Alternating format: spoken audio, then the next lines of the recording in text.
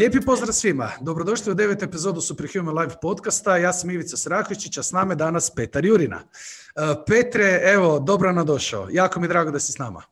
E, Ivica, hvala ti na, na pozivu. Evo, uvijek volim podcaste, ne znam zašto, volim, volim kad me ljudi ispituju, volim odgovarati, to na kraju i radim, tako da eto, bit će mi, bit će mi užitak i drago mi da si pozvao. Znam da imaš dobrih tema, dobrih pitanja, na kraju dobrih ideja i, i kao i cijeli tvoj podcast koji je super ideja, tako da eto, tu sam i nadam se da će svima onima koji će ovo slušati biti korisno i da će izvući neke korisne stvari. Ja sam siguran da će biti korisno jer e, ljudi koji te prate, a pratite manje više, ajde biti da te predstavim u doslovno jednoj rečenici. Dakle, ti si marketinški stručnjak, međutim e, usko fokusiran na fitness. E, napravio si, kreator si Fitness Business Akademije i zapravo ja bih rekao da je tvoja nekakva poznatost i popularnost eksplodirala pogotovo zadnjih godinu dana, iako si prije toga već bio dosta popularan.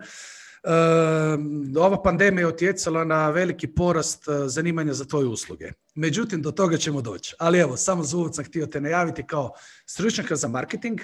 E da, ajmo jedno pitanje koje nije bilo u planu, međutim, razmišljajući danas u podcastu, eh, nameće se samo od sebe. Ako izbacimo ovo stručnjak za fitness marketing, eh, smatraš li da su velika većina stvari koje ti propagiraš i koje educiraš zapravo primjenjive na bilo koju granu? E, pa definitivno da.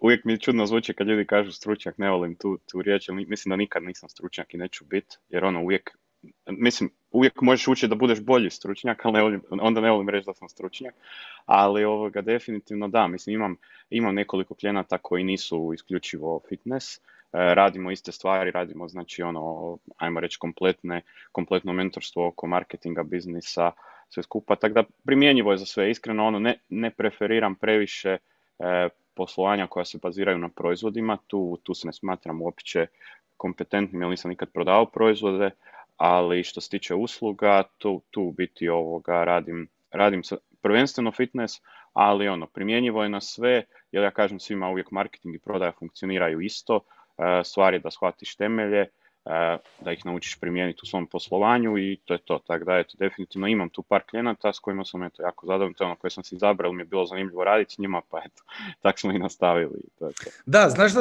ovo pitanje sam ti zapravo postavio zbog e, jednog praktičnog razloga. Dakle, ja svaki podcast, ne svaki, pardon, e, podcastove šeram na društvenim mrežama ovisno o gostu.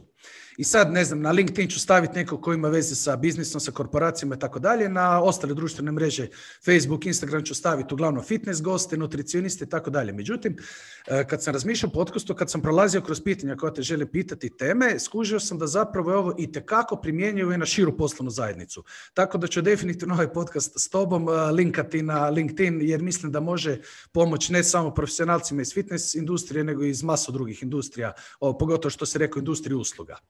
No, ajmo mi e, neku kratku kronologiju Petra, aj ne moramo doslovne, ali ajmo od srednje škole pa do ovoga što si danas, pa provedi nas malo kroz svoju karijeru. Može, može, ovoga, ajmo, ajmo životnu priču pričati ovoga.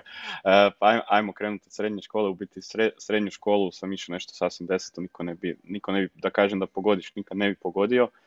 E, u srednju školu sam išao u biti elektrotehničku školu, tako da ono, to mi je u to vrijeme bilo zanimljivo, ono, ja sam uvijek bio znaš, među, među prijateljima onaj koji se kuži u kompjutere. Mm.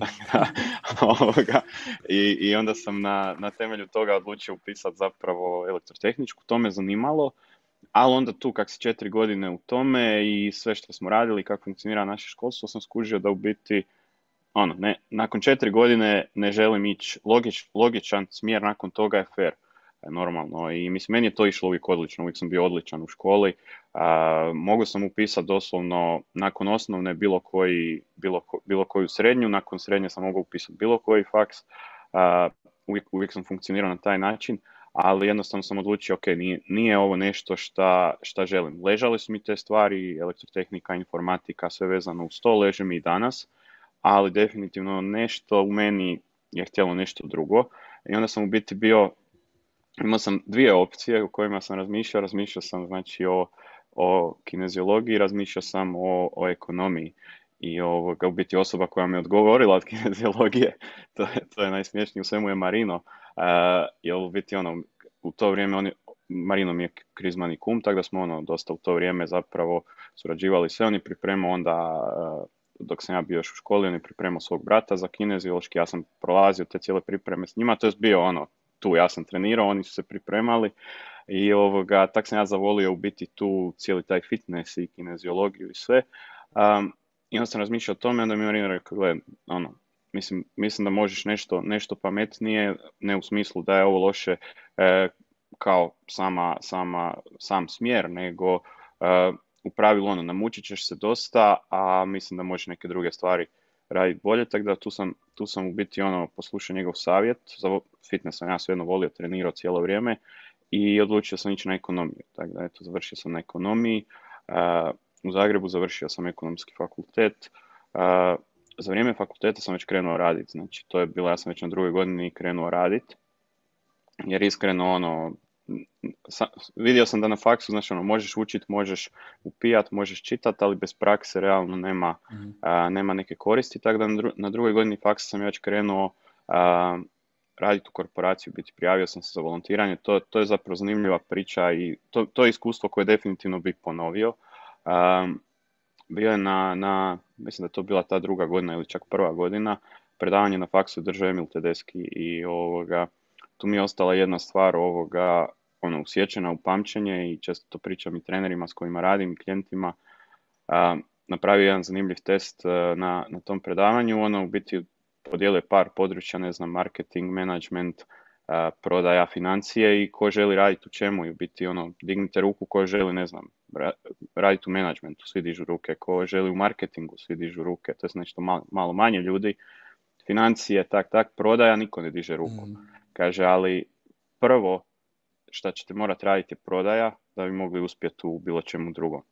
I to je, to je ostalo, ono, ajmo reći, usjećeno, usjećeno u meni i on je rekao tu na tom predavanju na kraju, kao mi uvijek primamo ono, volontere, studente koji žele raditi, prijavite se i u biti ja sam ono nakon dva, tri mjeseca nakon tog predavanja meni nešto puknulo u glavu, ja sam poslao prijavu direktno na, na, na Atlantik, upisao sam ovoga, zašto se uopće prijavljujem, otkud mi ideja, opisao sam cijelo to predavanje, u biti napravio sam priču, nije to bila klasična prijava, nego eto to i oni su mi se, i nik, niko nije odgovorio, rekao ajde opet, opet neko priča priče samo kod nas i ovoga, nakon, e, nakon prošlo, ja mislim, dva, tri mjeseca, dobio sam odgovor da se njima sviđa ovoga, kako sam to napisao, prijava, sve ovo, jel bi mogao doći na razgovor. Kao, I ok, došao sam na razgovor i tako eto krenuo sam raditi, to je volontirati tamo u, u marketingu. E, konkretno radio sam u odjelu, e, to je, to je bila Neva, odjel ICD Vita, znači odjel e, kozmetike, zdravlja i, i ovih, ajmo reći, suplemenata CDVite, voda, voda i sve ostalo.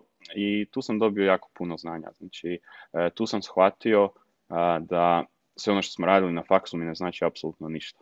To, to sad zvuči ružno, ali znači ono, dođeš tamo sa sretom na faksu mi ide super, sve prolazim, sve je dobro, dođem tamo, ja sad ono, znam sve, i ga dođeš tamo i shvatiš da ne znaš ništa i, i onda ti napokon dođe nakon, ne znam, par mjeseci a, jedna stvar koju ti spomenu, e, treba nam pomoć oko marketinškog plana i rekao to super, to smo učili na faksu, to znam. Mm. I onda mi oni daju primjer svog marketinškog plana i kažem pa nije to marketinški plan, mislim, nismo, nismo mi tako učili.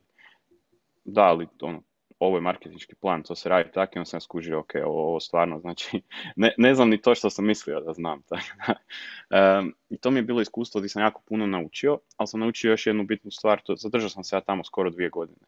Um, tako da ono, krenulo je polako od jednostavnih stvari pa do toga da sam preuzimao sve više i više poslova, sve više odgovornosti, a, ali sam shvatio u tom periodu jednostavno uh, nikad više ne želim raditi u korporaciji.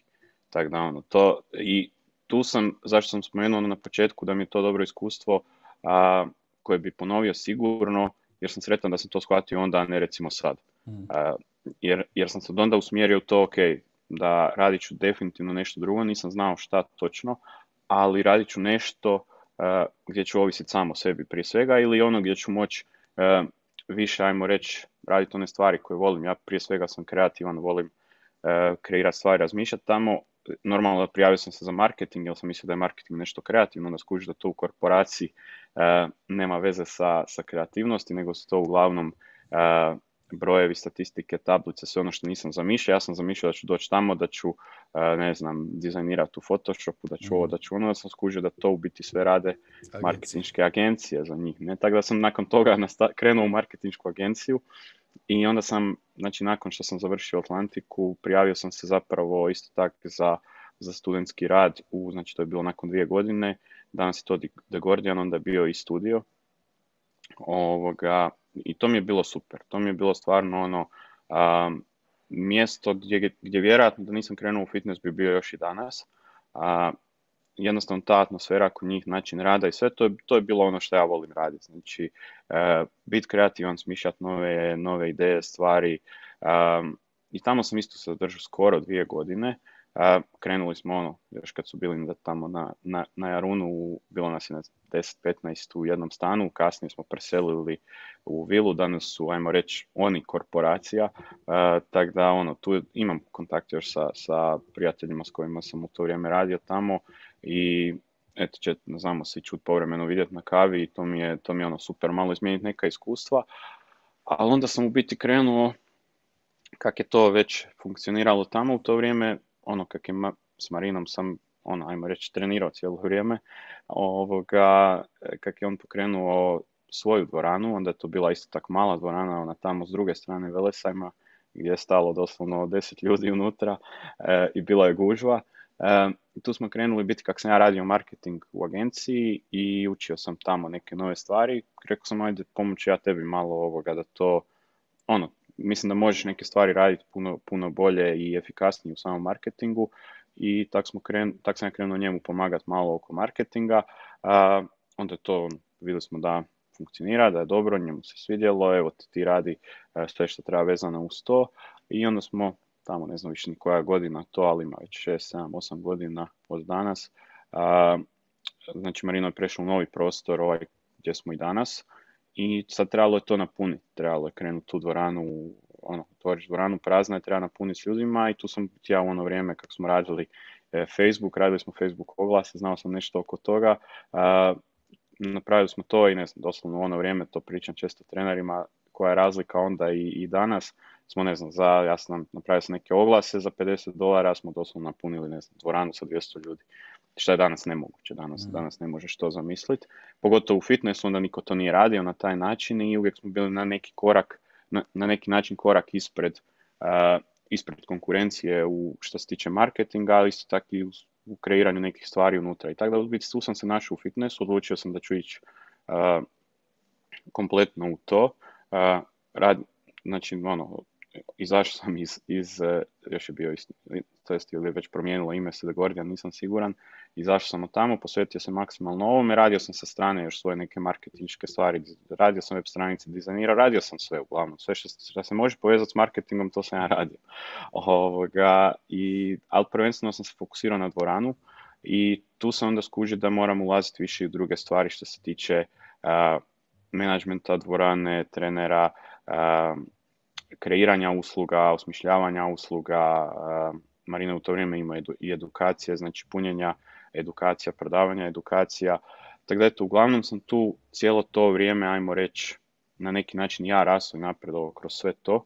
I ono što sam u to vrijeme ja radio, kod nas, ajmo reći, nisi imao od koga previše učiti to fitnessu što se tiče poslovanja samog i marketinga u fitnessu. I u to vrijeme sam ja krenuo pratiti ljude koji su danas meni zapravo mentori koje plaćam i s kojima surađujem. U to vrijeme sam tražio šta ima po internetu, naletio sam na njih, znači na, na Bedrosa, na Krega, na, na Vinsa Del Montea i tu sam biti ono, učio od njih, iz njihovih besplatnih materijala, stvari uh, i kako sam to primjenjivao u svoje neke uh, stvari koje sam mislio da su primjenjive tu na našem tržištu, ne možeš apsolutno sve preslikati, ali možeš nešto uh, do, doći do ideja i primijeniti to. Vidio sam, ok, ovo ima smisla funkcionirati, tako da sam se krenuo sve više interesirati za to i u biti tu je krenula moja neka Uh, ideja zapravo nije ideja, to se s vremenom nametne kad ljudi vide da nešto radiš i da radiš dobro i da ostvariš neke rezultate. Treneri su krenuli me zapravo ispitivati kako ovo, kako ono, kako što. Tako da sam polako krenuo u tom smjeru da savjetujem trenere i, i da pomažem njima. Nije to, uvijek mi bio fokus primarno dvorana, tako da sam, ajmo reći ovo, uh, usput radio sa strane, koliko sam uspio i koliko sam stigao, ali to s vremenom, kao što si rekao, od prošle godine, to je zadnjih, zadnjih skoro dvije godine sam krenuo intenzivno to raditi u dvorani, ne provodim više puno vremena. Ajmo tu malo stat. Ajmo tu malo stat. Ovako, prvo bih htio jednu poantu izvući van. Ti si već, ti si mi deveti gost, ali si mi treći koji je imao prethodno korporativno iskustvo. Mhm. I svi troje prije tebi su rekli isto ovo što i ti, da je to jedno sjajno, dragocjeno iskustvo koje definitivno ne bi mijenjali. Ne? zašto sam htio ovo dodatno istaknuti? Zato jer znam da nas slušaju ljudi koji su trenutno u korporacijama, a privlači ih neki drugi aspekti od fitnessa i tako dalje. Htjeli bi se osamostali, htjeli bi postati poduzetnici i doslovno ono parklinju svaki dan koji moraju ostati u firmi. Međutim, samo bih htio poručiti tim ljudima da gledaju kao blagoslov to što su tamo, jer su na izvoru velikog znanja. Dakle, ne možda stručnog znanja, naravno steći će i to znanje, međutim vidjet će jako puno procesnog znanja. Što sve moraju znati? Upravo što si ti neki dan napisao na svom profilu, koliko ste treneri, a koliko ste menadžeri i zapravo marketingaši, ne? E, nije dovoljno biti stručan samo u jednom aspektu poslovanja, nego za voditi svoj posao moraš biti e, relativno dobro potkovan u svemu, a mislim da korporacija tu daje sjajan, sjajnu bazu. Tako da evo, to sam htio istaknuti. Drugu stvar koju sam htio istaknuti prije nego nastavimo, Marino o kom pričaš, 99% ljudi zna o kome se radi, međutim za onih 1% koji ne znaju, Marino Bašić, vlasnik Basic Gym One, naš poznati proslavljeni kondicijski fitness trener, koji je by the way bio gost u petoj epizodi mog podcasta, tako da evo, svi možete pogledati. Tako je, svi koji nisu poslušali možete poslušati uh, i podcast sa Marinom za koji smo dobili fenomenalne komentare ljude koji ga nisu znali od ranije, od ranije oduševio. Prije svega svojim razmišljanjem o poslu. Ono što sam rekao da je paradoks što smo u tom podcastu 90% vremena pričali o poslu, a ne o, nemam pojma, sklekovima, zgibovima i nekakvom sportskom nutricionizmu. E, što sam još htio reći? Da, jedna stvar me zanima. Dakle, bio si blizu toga da upišeš kineziologiju.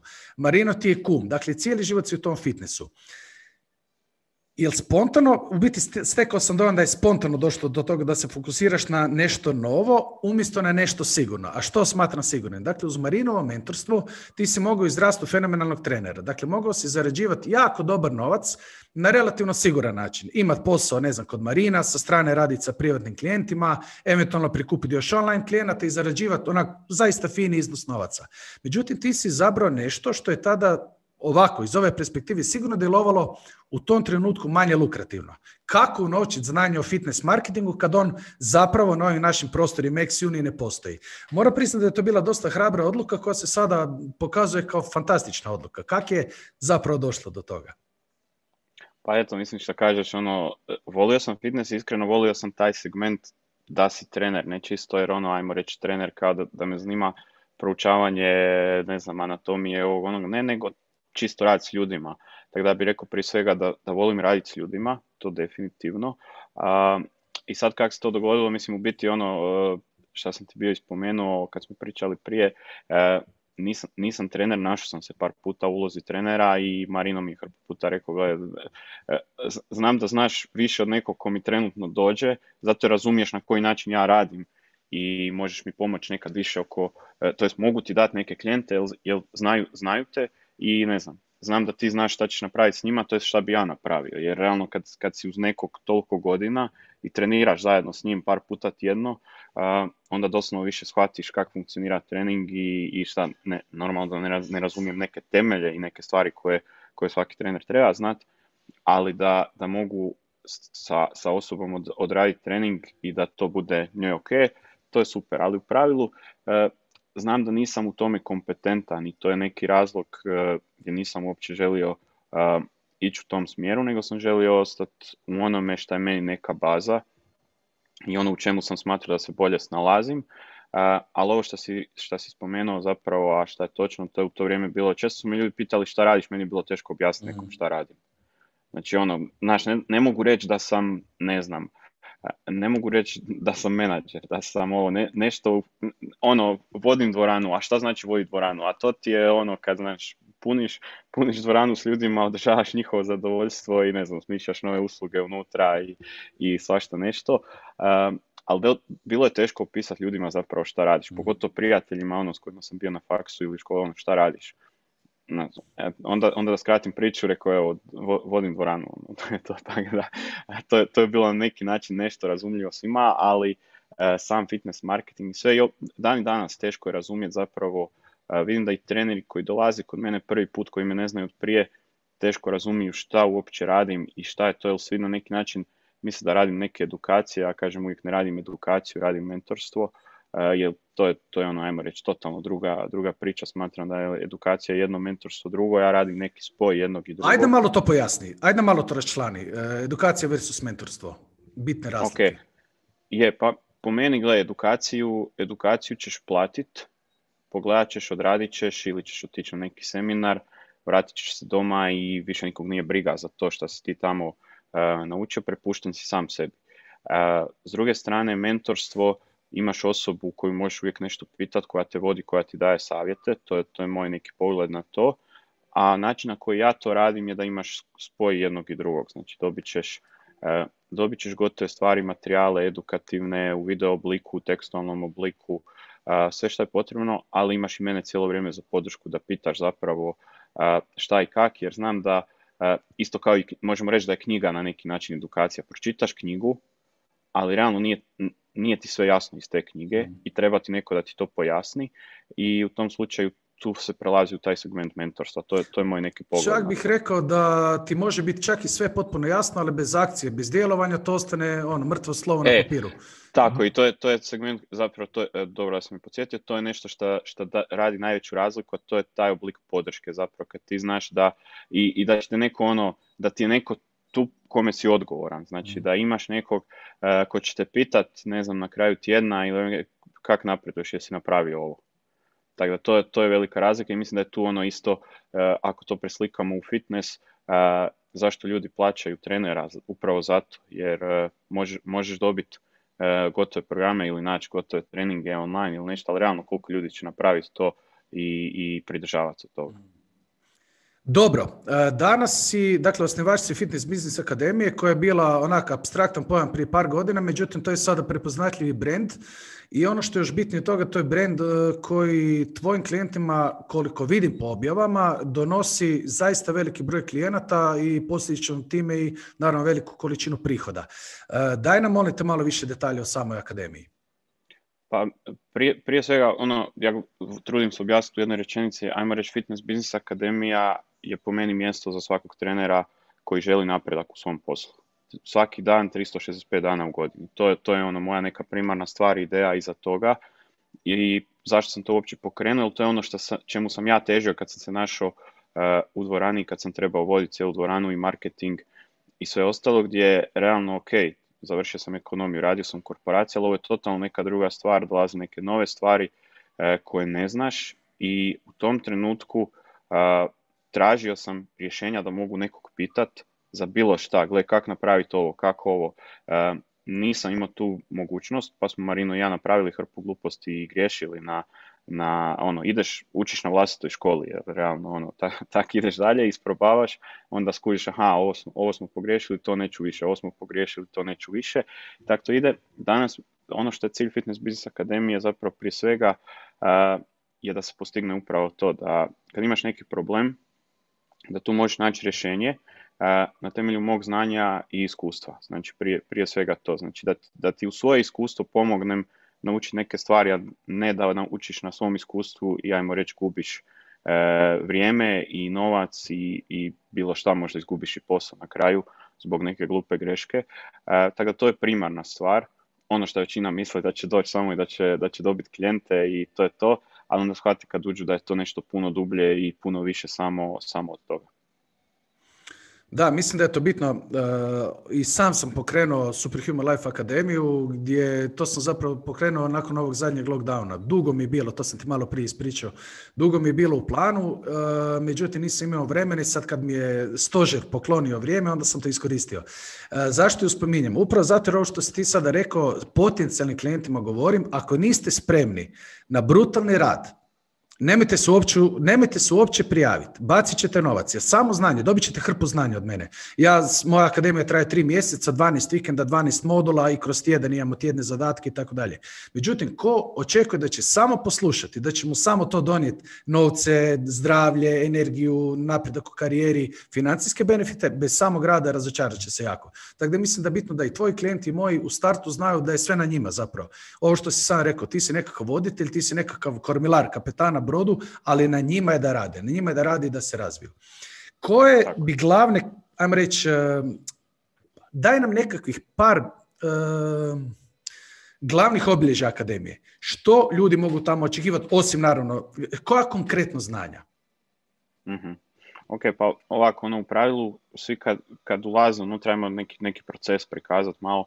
Um, u biti kad, kad se ulazi u akademiju, prvo imaš, isto tako kako si ti spomenuo, imaš, imaš jedan program, ja imam program Kickstart, koji ajmo reći predviđen za nekih 8 tjedana, uh, ali u pravilu ono, svako radi po svojim mogućnostima, neko stigne proći prije, nekom treba i dulje, uh, ali tu su neki temelji, to je ono što moraš shvatiti, tu ćeš dobiti temelje zapravo ajmo reći neke osnovne financije koje trebaš znati u poslovanju, jer sam shvatio da 90% trenera uopće ne zna mhm. koliko zarađuje, koliko troši, tako da ono neki maksimalno jednostavan financijski plan.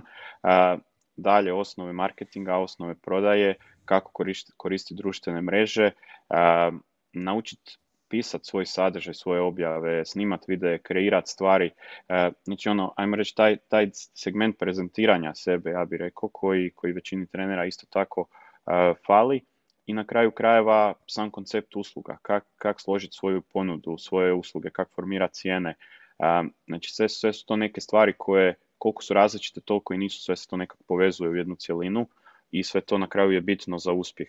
Kako ja kažem, to je ono hrpa ono, puzli koje se moraju spojiti u, mm. u jedno, jer ako, ako ti je dobar samo marketing, neće funkcionirati. Ako si dobar u financijama, neće funkcionirati. Ako imaš dobru uslugu, ne znači prodat, neće funkcionirati. Tako da, realno sve to mora mm. se uklopiti u jedno i kad to funkcionira kao jedno, ono, kao, kao dobar motor u kojem svi dijelovi e, rade svoj dio, onda, onda to postaje puno lakše. Nakon toga, e, tu je ono, to je cijelogodišnji program, e, znači gdje je moja podrška svaki, u biti svaki dan, svaki tjedan dostupna imamo Facebook grupu gdje svaki dan doslovno možeš pitati pitanje, bilo koje ovo što sam pričao prije, da svaki dan možeš dobiti rješenje koje trebaš, šta god to bilo, ako imaš pitanje, pitaš, dobit ćeš odgovor. I jednom tjedno imamo u biti pitanja i odgovore u živo putem Zuma gdje možemo detaljnije popričati o nekim stvarima, ako je neka stvar koju nije tako jednostavno samo ono odgovoriti u dvije, tri rečenice, nego trebamo malo popričati, mora biti obostrana komunikacija, to onda radimo na taj način redovno svaki tjedan šaljem neke savjete u tjednom e-mailu gdje je malo ono moja neka razmišljanja temeljena na onom što vidim kroz tjedan, koji su bili mhm. najčešći problemi, pitanja i sve tu dajem neki e, onda savjet ono, ajmo reći, uklopim to sve u jedno i pošaljem neki savjet za to ili ono, ajmo reći, u kojem smo periodu godine, e, ako je, ne znam, to pred ljeto, evo ti savjeti šta bi trebao sad raditi, šta nemoj e, zaboraviti napraviti pa nekad malo više motivacijski, nekad malo više oko mindseta, ovisno što osjetim da je, kome, da, mm. da je trenerima potrebno u, u tom trenutku. Naravno, kad, je, kad se dogodi lockdown, evo ti rješenje šta možeš sad napraviti. Brzo, efikasno, jer to, to, je, to je nešto što niko ne očekuje. I niko ne zna šta tu napraviti. Nisam ja prije doživio lockdown, ne znam šta napraviti, ali razmislim šta bi moglo biti najbolje da napraviš i napravi to. I to je to, tako da na kraju to pokaže se dobro, ja kažem, nije uvijek niko najpametniji, i zbog toga, što nisam najpametniji, imam isto tako tu i e, gostujuće predavače, znači često tu a, dolaze moji mentori, znači bio je Vince Del Monte, Craig Ballantyne, sad je prošli tjedan bio Corby Waters koji je, niko vjerojatno ne zna za njega, ali on je kod Vinca u timu, ajmo, ajmo reći, glavni mentor, bio mentor njemu, čovjek radi 30 godina biznis mentorstvo i prodaju, tako da definitivno ono, zna nešto o tome, vodio Merrill Lynch sa digo je tim do tisuću ljudi, ja mislim, ispod sebe. Tako da ono, stvarno je čovjek koji, koji zna jako puno i to pred, predavanje mislim da je bilo jedno od, od najboljih sigurno koje smo imali unutar Fitness Business Akademije. Ovi drugi će se ljutiti ako čuju, ali dobro, nisu ovoga, ne, neće razumjeti hrvatski. Ali ovoga, tako da eto, to, to je to. I trudim se zapravo na taj način ono, dati puno više nego što ljudi očekuju od toga. To, to je ono neka primarna stvar. i da svako može uzeti ono što mu je potrebno. Nekom neće trebati puno o marketingu, ali će mu trebati možda drugih stvari. E, ne znam, konkretno sad u, u trendu je online usluga, pa ok, otkud krenut, šta napraviti, e, koje alate koristiti, e, kako koncipirati uslugu, kako naplatiti. Znači to su sve neke stvari koje se mogu pronaći unutra i šta kažem svima, ako nema nečeg unutra, tu je moja glava pa ću ti dati odgovor Na, na to. Mm. Ovako, ko te prati na društvenim mrežama i ko je na tvojoj mailing listi, a ja te i pratim i u grupi sam i na tvojoj mailing listi sam, e, vidi, može vidjeti da daješ gomilu sadržaja besplatno. I ajde, možda će grubo zvučati, ali imalo inteligentnija osoba će moći povezati već i te besplatne točkice i već sa time napraviti napredak u svom poslovanju. E, kako odlučuješ toliku količinu sadržaja davati besplatno, smatraš li da manje prodaš zbog toga ili suprotno, da baš više, da će, dakle premium više usluga prodaš zato da daješ jako puno freemiuma besplatnog sadržaja? Pa, pa mislim da je, da je ovaj drugi slučaj, e, ja kažem, jer u pravilu kad daješ jako puno besplatno, puno je lakše prodat. Znači to, to definitivno i siguran sam da zbog toga prodajem puno više. Na kraju krajeva danas nemam razloga skrivati, zapravo da pojednostavim, ja kažem trenerima često, svi materijali koji su unutar Fitness Business Akademije, da ih dam besplatno, da ih svi mogu preuzeti, neće niko napraviti posao. Mm. Znači 100%, 100% sam siguran, ili neće napraviti takav uspjeh koji može, jer fali onaj drugi segment o kojem smo pričali u startu, a to je ovaj segment mentorstva i podrške. E, I fali, pardon, ako te mogu nadopuniti, fali još jedan segment, responsibility, odgovornost. ako dobiješ nešto besplatno, to, to ne cijeniš. Ali ako nešto platiš, onda se osjećaš sam sebi glup ako ne djeluješ prema načelima koji si skupo, plati, skupo koji si platio. Tako da, apsolutno se slažem s tobom da ne bi funkcioniralo da sve daš besplatno. I gleda, pače, što više platiš, više pažnje daješ. Da. To, to je definitivno, tu ja, ja znam to na, na, na svom iskustvu, ja sam prvo, prvo mentorstvo kad sam uzeo kod, kod Vinca Del Monte, platio sam jako puno. A, da sam, mislim konkretno da kažem, 25.000 dolara. Mm. Ovoga, da sam to platio 500 eura, ne bi to me dao mhm. pažnje ni blizu toliko. Sad će neko reći, jesu ti materijali unutra toliko vrijedni. Materijali, ništa, ajmo reći 90% toga, drugačije od onog što sam i besplatno uh, negdje našao ili što sam već znao ali stvar da će ti neko reći šta točno od toga napraviti u kojem trenutku, nekad vrijedi pet puta od onog koliko si platio.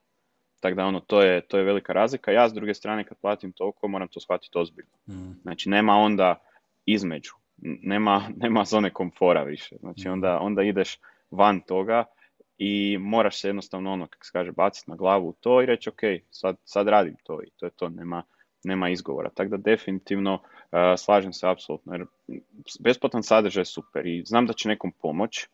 Ako ništa pomoći onima koji su na nekom onom, znači, ima ljudi, ne možeš platiti, ok, nema problema, evo ti besplatno. Ja nekad neko mi se javi, ne može platiti, evo ti ne znam, dam mu neki video koji je unutar akademije, koji znam da je njemu koristan, evo ti pogledaj ovo, to je ono što ti trenutno treba, što će ti pomoć. Nakon toga kad budeš spreman, kad ćeš moći platiti, javi se pa ćemo onda raditi konkretno i to je to. Mm. Tako da u svakom slučaju, gledam, to je neki prvi korak, prva pomoć koju mogu uh, dati svima i prije svega mislim da marketing mora biti pomoć, nešto što će ljudima u startu pomoći, jer na kraju krajeva šta, se stvara kroz to? stvara se povjerenje, ljudi ti više vjeruju, vide da, da imaš znanje, da im možeš pomoći. Na kraju ako mi može pomoći besplatno, pa sigurno mi može platiti više ako mm. mu platim.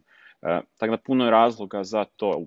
Na kraju krajeva u današnje vrijeme, e, ono što kažem i trenerima, nemoj, nemoj da ti treninzi budu tvoja glavna vrijednost, jer onda ti je YouTube najveća konkurencija, realno. E, onda možeš otići na, na YouTube, upisat bilo šta na kraju iz bilo kojeg područja, ne samo iz fitnessa, ako se hoćeš educirati, naći ćeš hrpu toga besplatno. Ili ćeš naći jako jeftinih edukacija danas iz svega, ili jeftinih programa treninga. Ali realno, to nije rješenje za pravi rezultat uh, koji želiš. I to, to nije nešto na, temu, na temelju čega možeš, ajmo reći, temeljiti svoju neku prednost na tržištu. Jer ako gledam iz druge perspektive, pa bolje da ljudi kod mene nađu nešto besplatno, nego kod nekog tamo na YouTube-u iz, ne znam, Australije ili, ili od kud već i onda će dati na kraju novce njemu, a ne meni. Mislim, mhm. ako gledamo na taj način. Jer bolje da ja steknem dobijem njegovo povjerenje i steknem autoritet kod njega nego netko drugi. Tako da danas ja mislim da se na temelju e, besplatnog sadržaja definitivno može puno i ne treba štediti na njemu. Ja sam to pričao i prije trenerima, sjećam se imali smo trenera u dvorani, ako ja ovo snimim, ovu vježbu, onda će naći neko drugi i onda će to drugi krenuti raditi. Rekao, ok, ali postoji ta vježba i na YouTube. Tako da, nema, nema, bolje da ju vide kod nas, nego da ju vide neg, ono, negdje drugdje, pa onda rekao, ako ti je već do toga ko će ispast pametniji, onda će on ispast pametniji. Tako da, bolje, bolje da ljudi prvo vide kod tebe. E, ajmo sada e, ta, ta ista načela i principe pokušati primijeniti, e, odnosno razgovarati e, o, o samim trenerima. Dakle, znam da često govoriš da je fitness industrija u Hrvatskoj podcijenjena, odnosno usluge su dosta jeftine, pogotovo kad uspoređuješ sa zapadom. I čak možemo tu uzeti ekvivalent, e, kad bi uzeli iste plaće, iste cijena, opet su kod nas fitness usluge jeftinije. E, međutim, kad pogotovo je to bilo primitno za vrijeme prvog lockdowna, ljude očito uhvatila teška panika i doslovno su se natjecali ko će, i to, to mi je djelovalo kao totalni kanibalizam, ti si ekonomist pa znaš dobro što znači taj pojam. dakle, ljudi su se natjecali ko će dati više besplatnih treninga online, a istovremeno su pokušali akvizirati klijente koji bi im trebali platiti taj online. I mislim, osobno mislim da se tu jako puno ljudi pogubilo i da su nanijeli cijeloj toj nekoj fitness industriji više štete nego koristi. Kako podići, kako davati e, besplatnog sadržaja, a istovremeno podići cijenu usluge. I evo, molim bi te samo, s obzirom da si putovao puno i da si e, se školovao vani, da nam malo usporediš te cijenovne diskrepancije fitness usluga kod nas i, i vani. mm Pa idemo, idemo prvo na te cijene i ovo, ovo što se tiče podcjenjivanja. Ja, ja bi samo to drugačije možda formirao. Ne bih rekao da je na fitness industrija, nego bih rekao da treneri podcjenjuju sami sebe.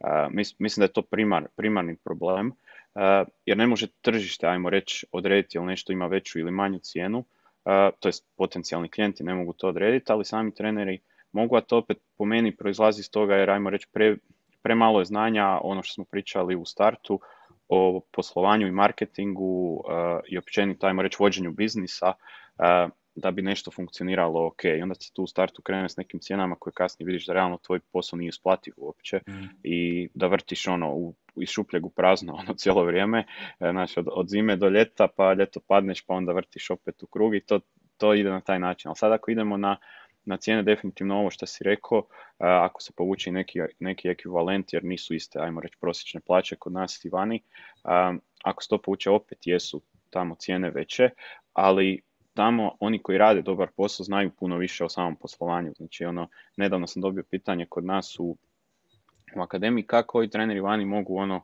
tak rasturati, ajmo reći, na ta, doslovno, doslovno pitanje. Rekao, gledaj, prva stvar, taj svaki trener da dođe tu može voditi bilo koje poslovanje, ne samo fitness. A, koji mhm. tamo rastura može voditi bilo koje poslovanje, ne samo fitness, zato jer ima veliko znanje e, općenito o marketingu, o poslovanju, o sustavima, organizaciji. Znači tu su stvarno napredni kod njih, ajmo reći, ta, ta razina, ako gledaš i školstvo vani, pogotovo u Americi, ti izađeš sa, uh, iz škole, iz faksa sa konkretnim znanjima koja su ti primjenjiva. plus sve dodatne edukacije i sve ostalo, dok kod nas realno, ovo što smo pričali u startu, nije ti primjenjivo apsolutno ništa. Ja kažem, kreneš učiti tek kad kreneš raditi. E sad što se tiče ovog, ovog besplatnog sadržaja, besplatan sadržaj nije problem kad znaš zašto to radiš. Problem je kad ne znaš zašto to radiš. To, to je ovoga, mislim da je to ključna stvar i to je bio problem kad je bio onaj prvi lockdown. Ja sam trenerima koji su radili sa mnom dao neke upute šta da rade besplatno i zašto to rade besplatno i šta će im to dati kasnije. Ali dok sam vidio, ali s druge strane ono što sam prvo rekao, nema besplatnih, nećeš raditi sve besplatno uživo, a većina je radila upravo to a, što sam vidio, ne znam, zatvorile se dvorane i sad radimo otvoreno svoje treninge svaki dan uživo na Facebooku ili negdje da su ima vidljive, realno kako ćeš naplatiti? Znači nema, nema tog nekog zida između, jer sve ono što imaš si dao besplatno. Tako da, A mislim, ja ne razumijem je... uopće rešenel odluke tih ljudi koji su to radili, jer konkretno, evo, znamo svi da tijekom lockdowna ljudi su se šišali, nije, zatvoreni su bili salone, a ljudi su se, bože moj, znamo kako to funkcionira kod nas, ljudi su se šišali. šišala. E, ali i mene je moja isto oderala na čelo i od tad mi se dopalo, od tad više ne, ne puštam malo dužu.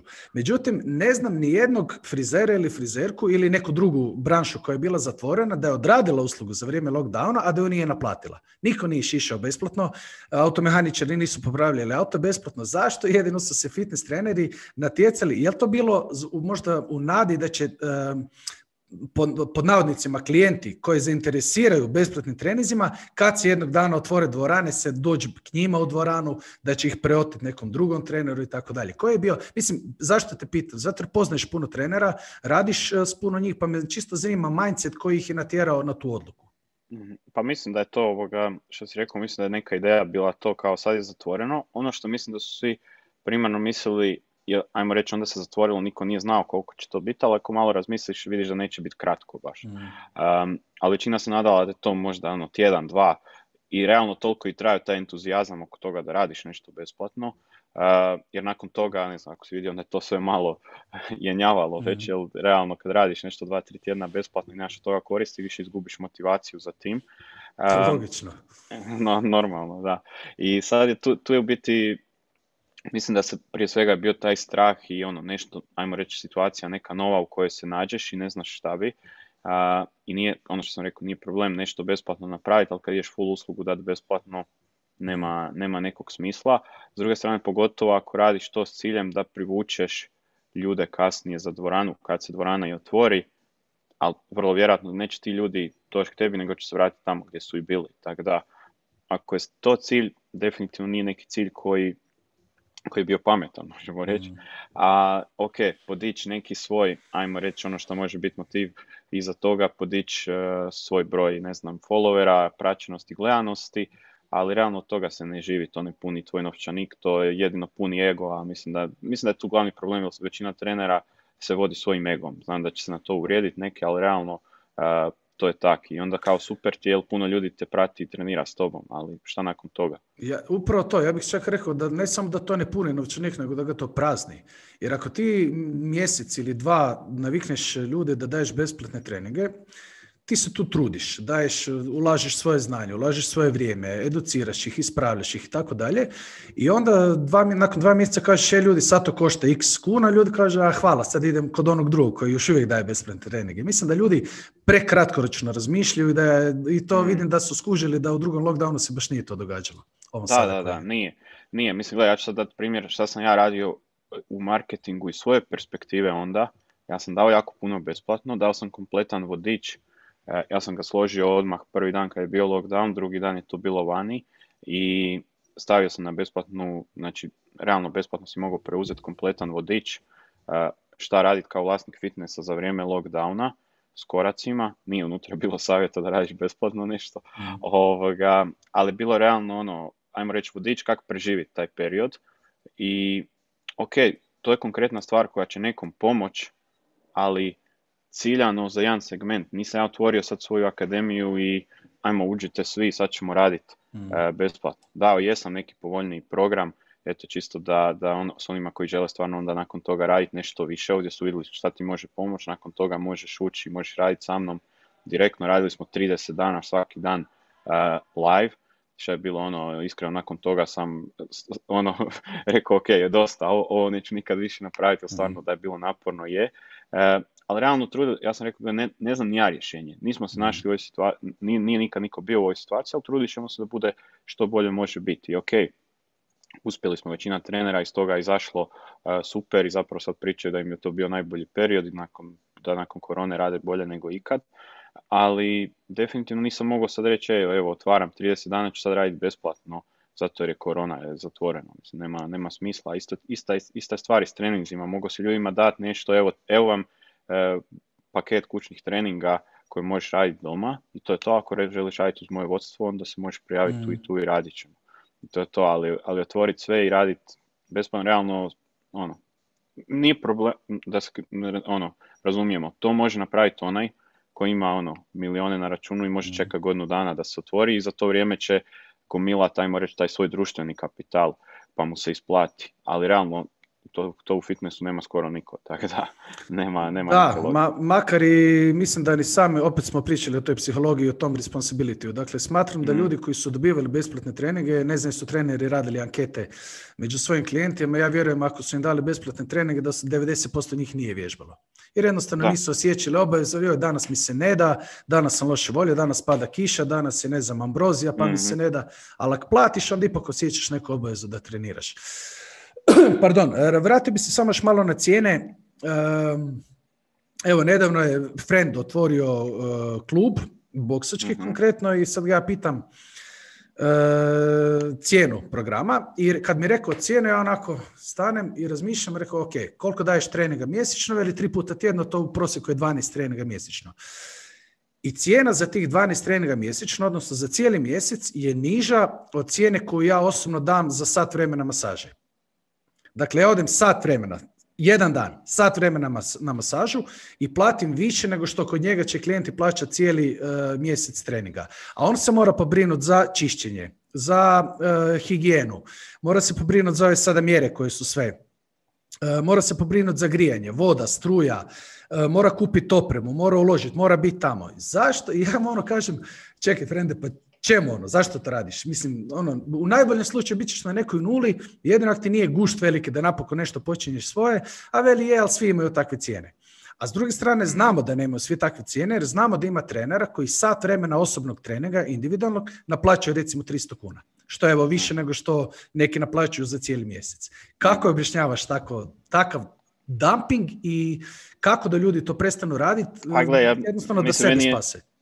Meni je iskreno žao, čujem ovo, ajmo reći, čujem to na mjesečnoj bazi par puta, iskreno uvijek mi je žao to čut, ali mislim prva je greška tu što vrlo vjerojatno prije nego je to pokrenuo uopće nije stavio neke stvari na papir izračunao koliko njega uopće košta njegov posao, to jest koliko treba zaraditi da bude profitabilan uopće, jer ovo, ovo sve što si nabrojio od čišćenja ovog onog na kraju tvog vremena koje ulažeš u to, to niko nije stavio na papir i zbrojio prije toga da bi shvatio koju cijenu treba uopće staviti. Jer kad ljudi to stave na papir i osvijeste šta u biti daje, koliko daje sebe, svog vremena, koliko radi drugih stvari uz to ili šta još mora poplaćati uz to i onda da uopće zna, ajmo reći, koji profit želi i onda to podijeliti s nekim realnim brojem ljudi koji može imati i onda doći do cijene e, koju zapravo treba formirati, to ne napravi 90 99% trenera. Znam iz iskustva i radim s njima i prvi put vide financijski plan kad uđu u Fitness Business Akademiju. Tako da realno to je prva greška. A druga je ovo što si rekao, svi imaju takve cijene. I šta se događa tu, to, to znam već zadnjih ono, pet godina, uvijek isti da, ali kod mene ova ima takve cijene, kod mene e, u mjestu ljudi neće platiti više, uvijek ima neki razlog i onda dok se dogodi to da se uspoređuje neko ko ima 100 kvadrata prostor s nekim ko ima 1000 kvadrata prostor. I onda će meni treneri često reći kakvi u Basic Gym One-u imate e, cijenu to, ali preko mi imamo kapacitet za 500 ljudi ako hoćemo.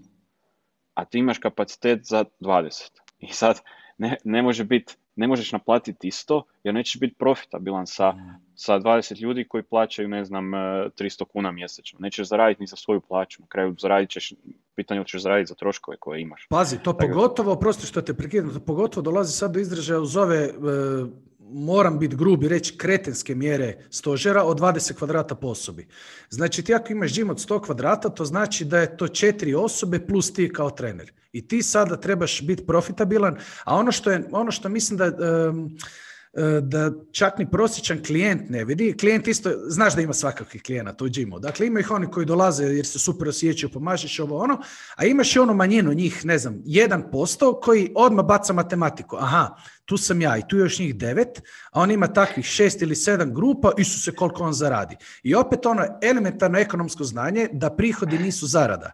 Da od prihoda treba odbiti troškove da bi ostala eventualna zarada. I onda ljudi ne vide koliko tebe košta oprema, koliko plaćaš najam, koliko plaćaš struju, vodu, apsolutno sve živo i onda ljudi možda onako, još šta će ljudi reći koliko ja zarađujem, ajde idem ja dati nižu cijenu. Mislim, ja to govorim, eh, meni je lako o tome govoriti. Dakle, ja sam, kao prvo bio sam 14 godina menadžer u korporacijama, osigurao sam si pristojan život, uz taj fitness radim i ovu svoju akademiju, radi sa tvrtkama, tako da je meni fitness Radim ga zato ga volim raditi. Volim raditi s ljudima, volim kad mi ljudi kažu da se super osjećaju, da im su im nestali, ne znam, migrene, da su im nestali bolovi, da su stali u trapericu koji nisu stali od srednje škole. Volim to. Na kraju krajeva ima tu nešto novaca, da se nešto zaraditi. Međutim, ljudi koji rade samo fitness i kad vidim kako se oni jako malo cijene i kako vidim kako se muče iz mjeseca u mjesec, češka u glavu kad im dođe račun za mobitel ili za najam, jednostavno mi je te ljude žao. I zato mi je jako drago da ti propagiraš upravo da ljudi počnu kvalitetnije vrednovat i naplaćivati svoju uslugu.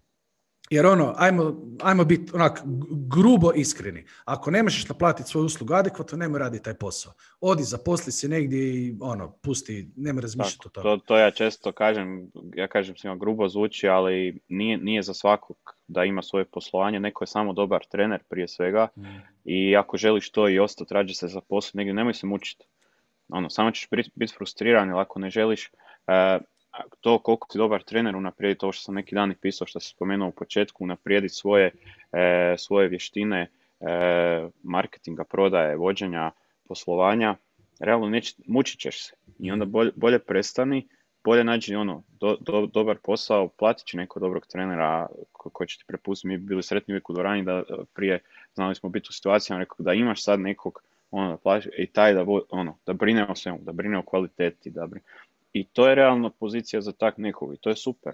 A realno ideš raditi nešto svoje, ali ne, ne znaš prije toga neke elementarne stvari, ovo što si rekao, ja, ja kažem, osnovna stvar je da uopće zbrojiš koliko ćeš dobiti, koliko ćeš potrošiti, da znaš šta ti ostaje, ali niko ni to ne napravi. I onda imaš problem, a onda kreće strah, jer pokrenuo si, moraš prodati, pa onda najlakše staviti nisku cijenu, jer ako staviš nisku cijenu, prodat ćeš. A onda dolazimo opet do sljedećeg problema, niska cijena ti privuče loše klijente, pa onda imaš problem sljedeći opet. I realno samo ideš iz problema u problem.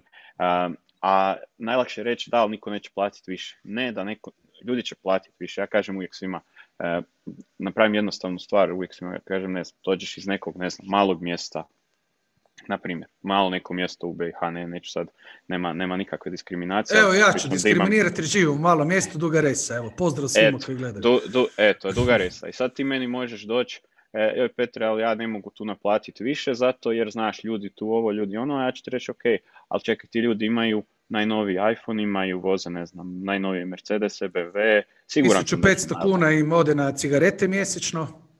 Tako je, tako da, znači mogu platiti, nije da nemaju novca, imaju, samo je stvar gdje će ga usmjeriti. E sad, a tvoja vještina treba biti takva da u, ajmo reći, tvoje vještine marketinga moraju biti takve da uspiješ s vremenom im objasniti da je možda pametnije potrošiti 1500 kuna kod tebe nego na cigarete mjesečno.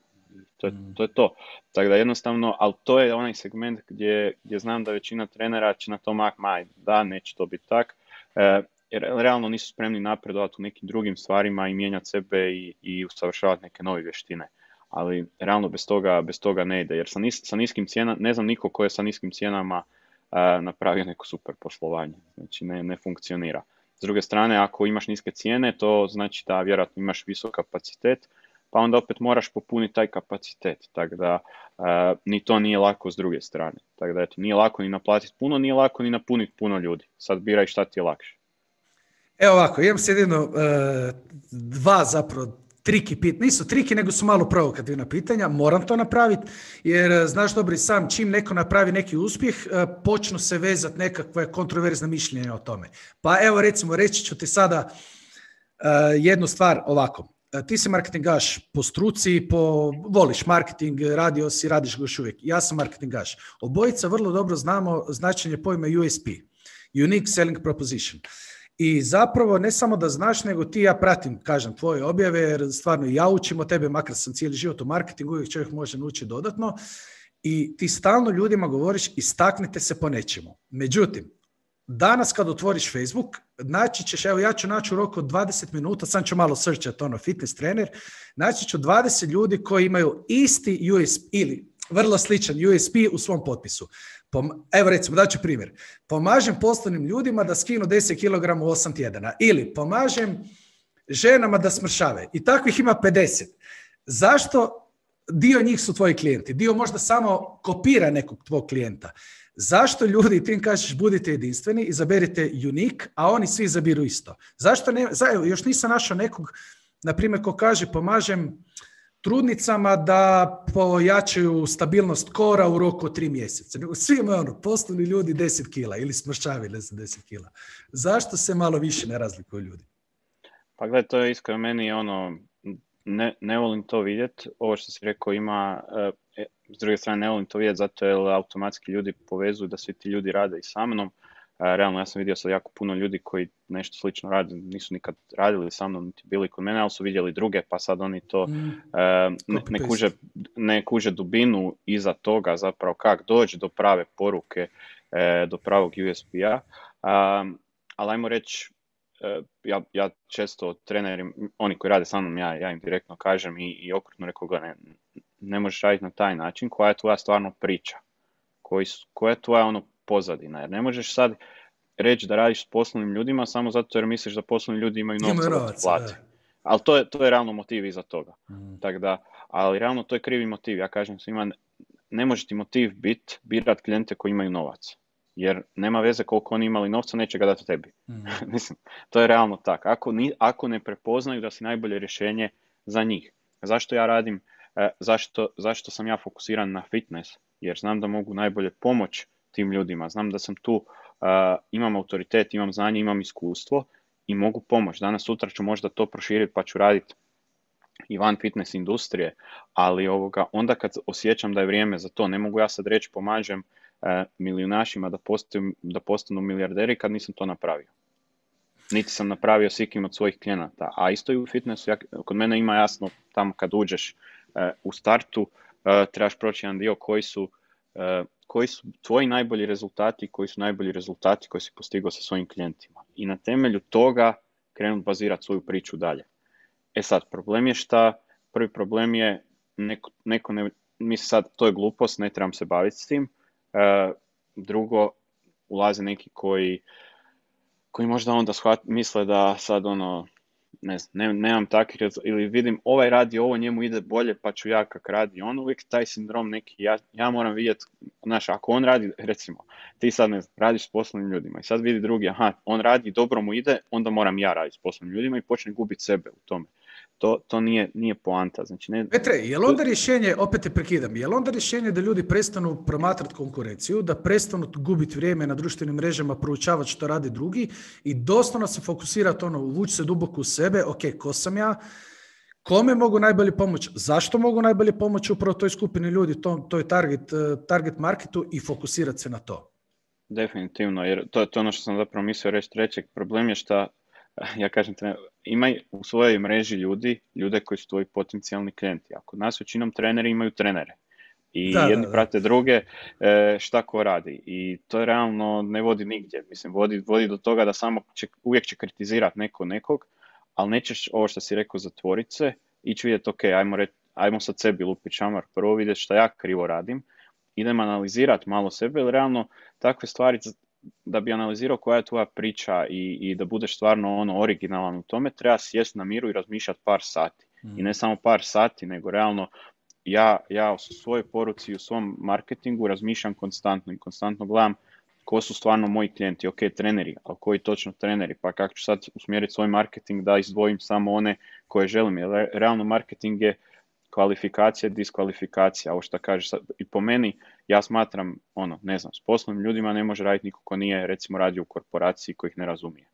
Recimo, idealan trener za njih je onaj koji radi u korporaciji, zašto sad je trener, uh, ajmo reći, prebacio je svoje, svoje poslovanje, sad će neko reći, opet ne može neko biti trener koji je bio u korporaciji, ja, ja ne smatram da, da je to loše ako... Os, mislim, Jedan je tu, u jednog, e, u jednog ako, ako osoba voli šta radi i zna šta radi, educira se u tom području, mislim da, da on nema, nema prepreke tome, naravno ako želi dalje napredovati u tome, ali ovoga, kažem to, znam da će, da će se neko nakačiti na to, pa će tebi meni prvo reći, e, da ne može neko sad biti trener koji radi u korporaciji i, slično, ali realno ima takvih primjera danas puno, ali to ono, stvar je samo, ja kažem, da li si siguran da ljudima možeš dati rezultat i dobru uslugu, ako možeš, ok, dalje sve drugo je stvar, imam i ja papir s ekonomije koji mi realno ne znači ništa. Mm. Tako da, e, da nisam dalje učio i educirao se e, van toga, ne, ne bi znao ništa, ali da se vratimo, da se vratimo na temu.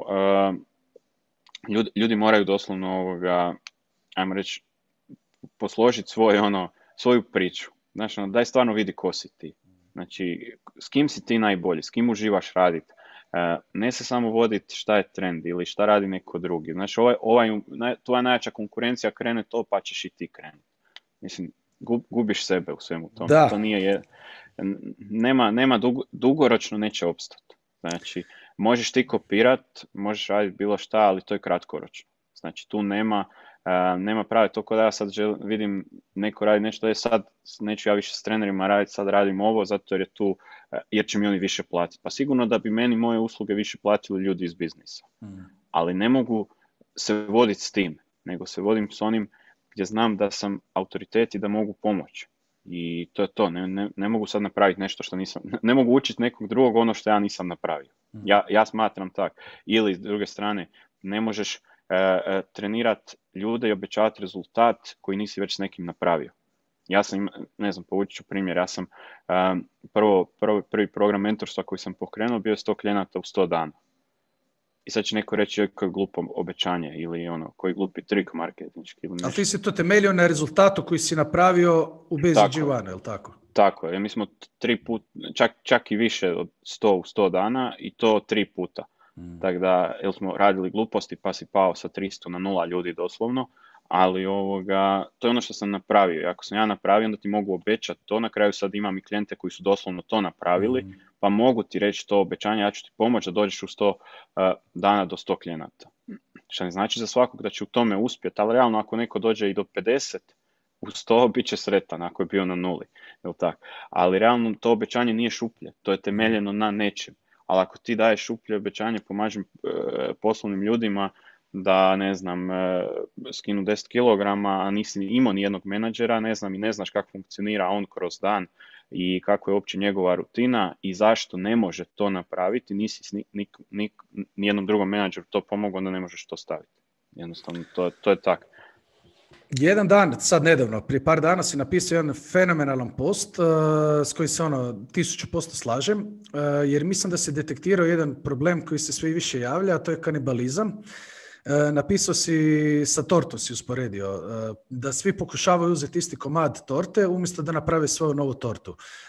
Ako mogu to malo stručno usporediti sa nečim, to je Blue Ocean, jel tako? Blue Ocean strategija, mhm. dakle svi se bore, u, ajmo ovako, svi se bore u crvenom oceanu gdje je sve prepuno morskih pasa.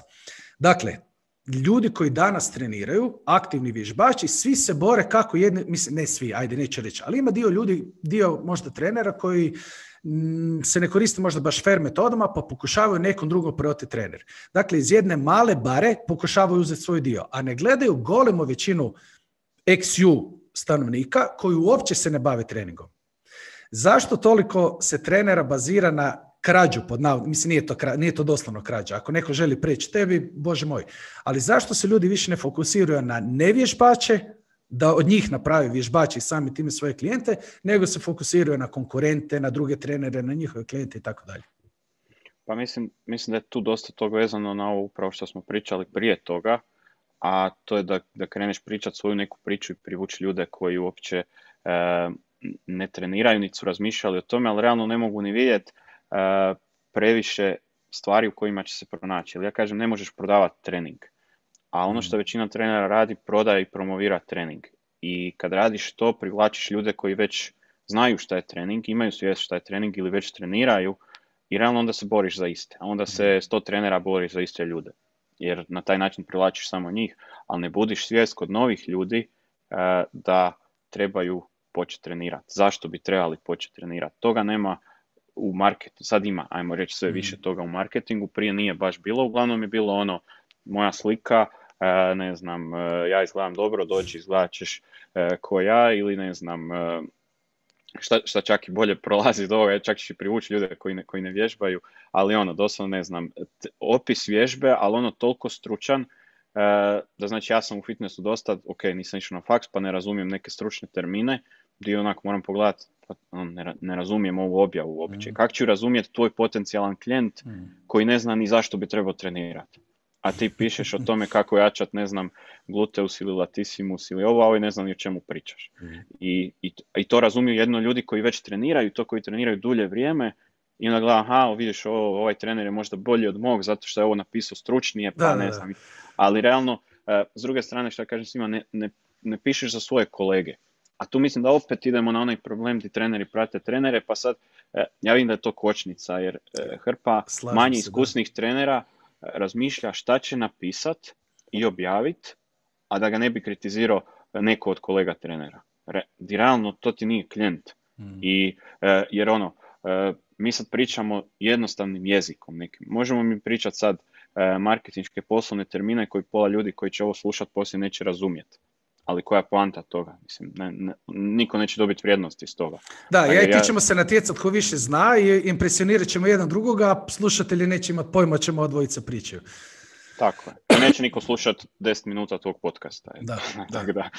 Jer tu nema ništa za mene. Ono, e, I tu je, tu je, to su ono neki prvi problemi. S druge strane, ono, realno trebaš, ajmo reći, unaprijediti to svoje znanje o, o marketingu ako želiš, poanta je moja bila te objave, gle, nauči marketing, nauči prodaj, jer to što si samo dobar trener i pišeš samo stručne stvari, privući će samo ljude e, koji već razumiju trening, ali ono, ajde idi, idi dublje, idi jednostavnije, daj ono, privuci ljude koji ne vježbaju, jer stvorit ćeš si novu mrežu ljudi, niko ne, ajmo reći, imaš sad pet trenera, i postoji određena mreža ljudi, svi se bore za tu mrežu ljudi, a niko ne, ne stvara svoju novu mrežu ljudi. Mm.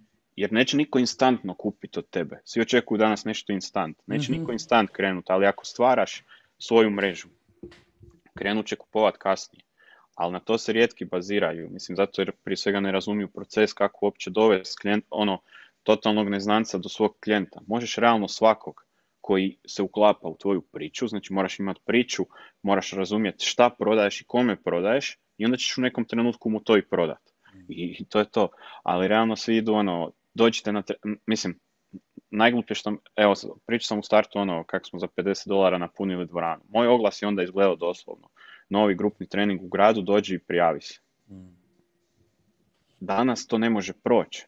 I realno to je išlo na ljude koji već treniraju, ali u tom trenutku je to bilo i ok, zato jer je bilo nešto novo, novi, novi grupni trening, novi način grupnog treninga. A danas e, to ne može proći, a opet neki rade e, individualni treninzi prijave u tijeku. Mm. Ok, ko će ti se prijaviti na to, osim onog koji negdje trenira i sad razmišlja, a nešto mi više ne paše kod ovog trenera, možda ću sad kod ovog. Ali realno nisi išao u neku dubinu i, opće, i, i realno temelji se taj marketing samo na prodaji i promociji, ali marketing ne može biti samo prodaja i promocija.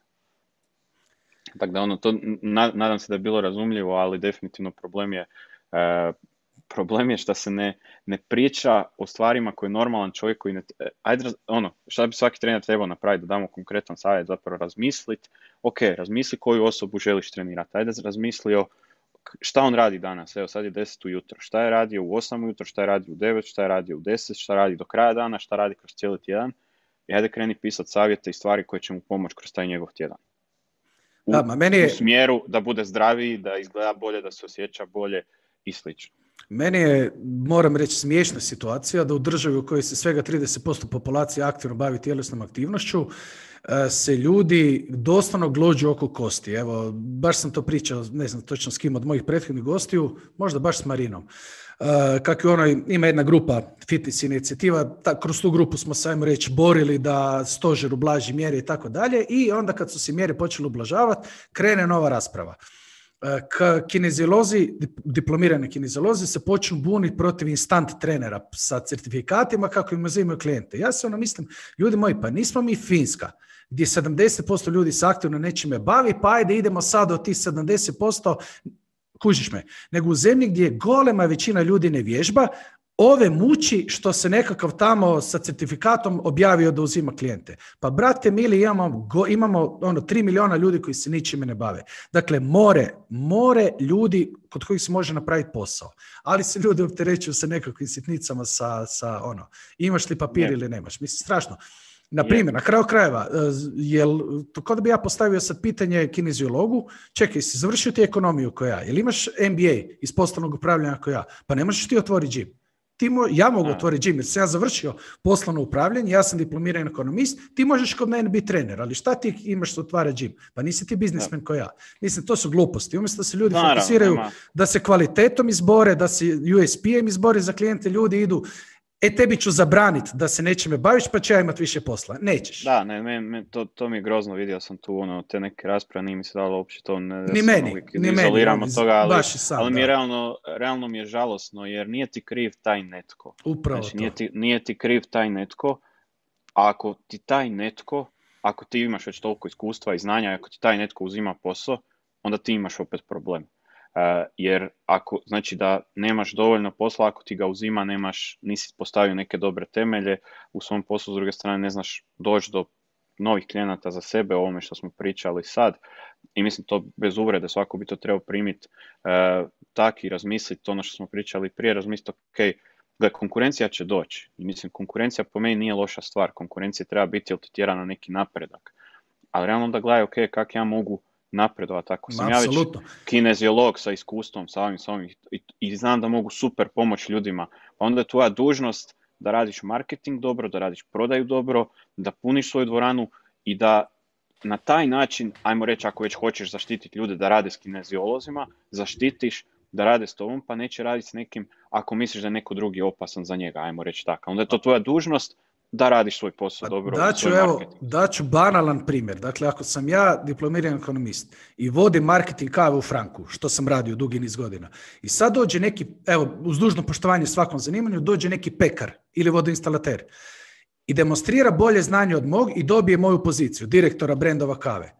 Pa hoću ja onda, uh, hoću onda razmišljati na način, ne, ja moram se pobrinuti da zabranim pekarima da se bave ekonomijom, ili ću se reći, čekaj, brati mili, pa moram malo više još uložiti u sebe ako mi jedan pekar može uzeti posao.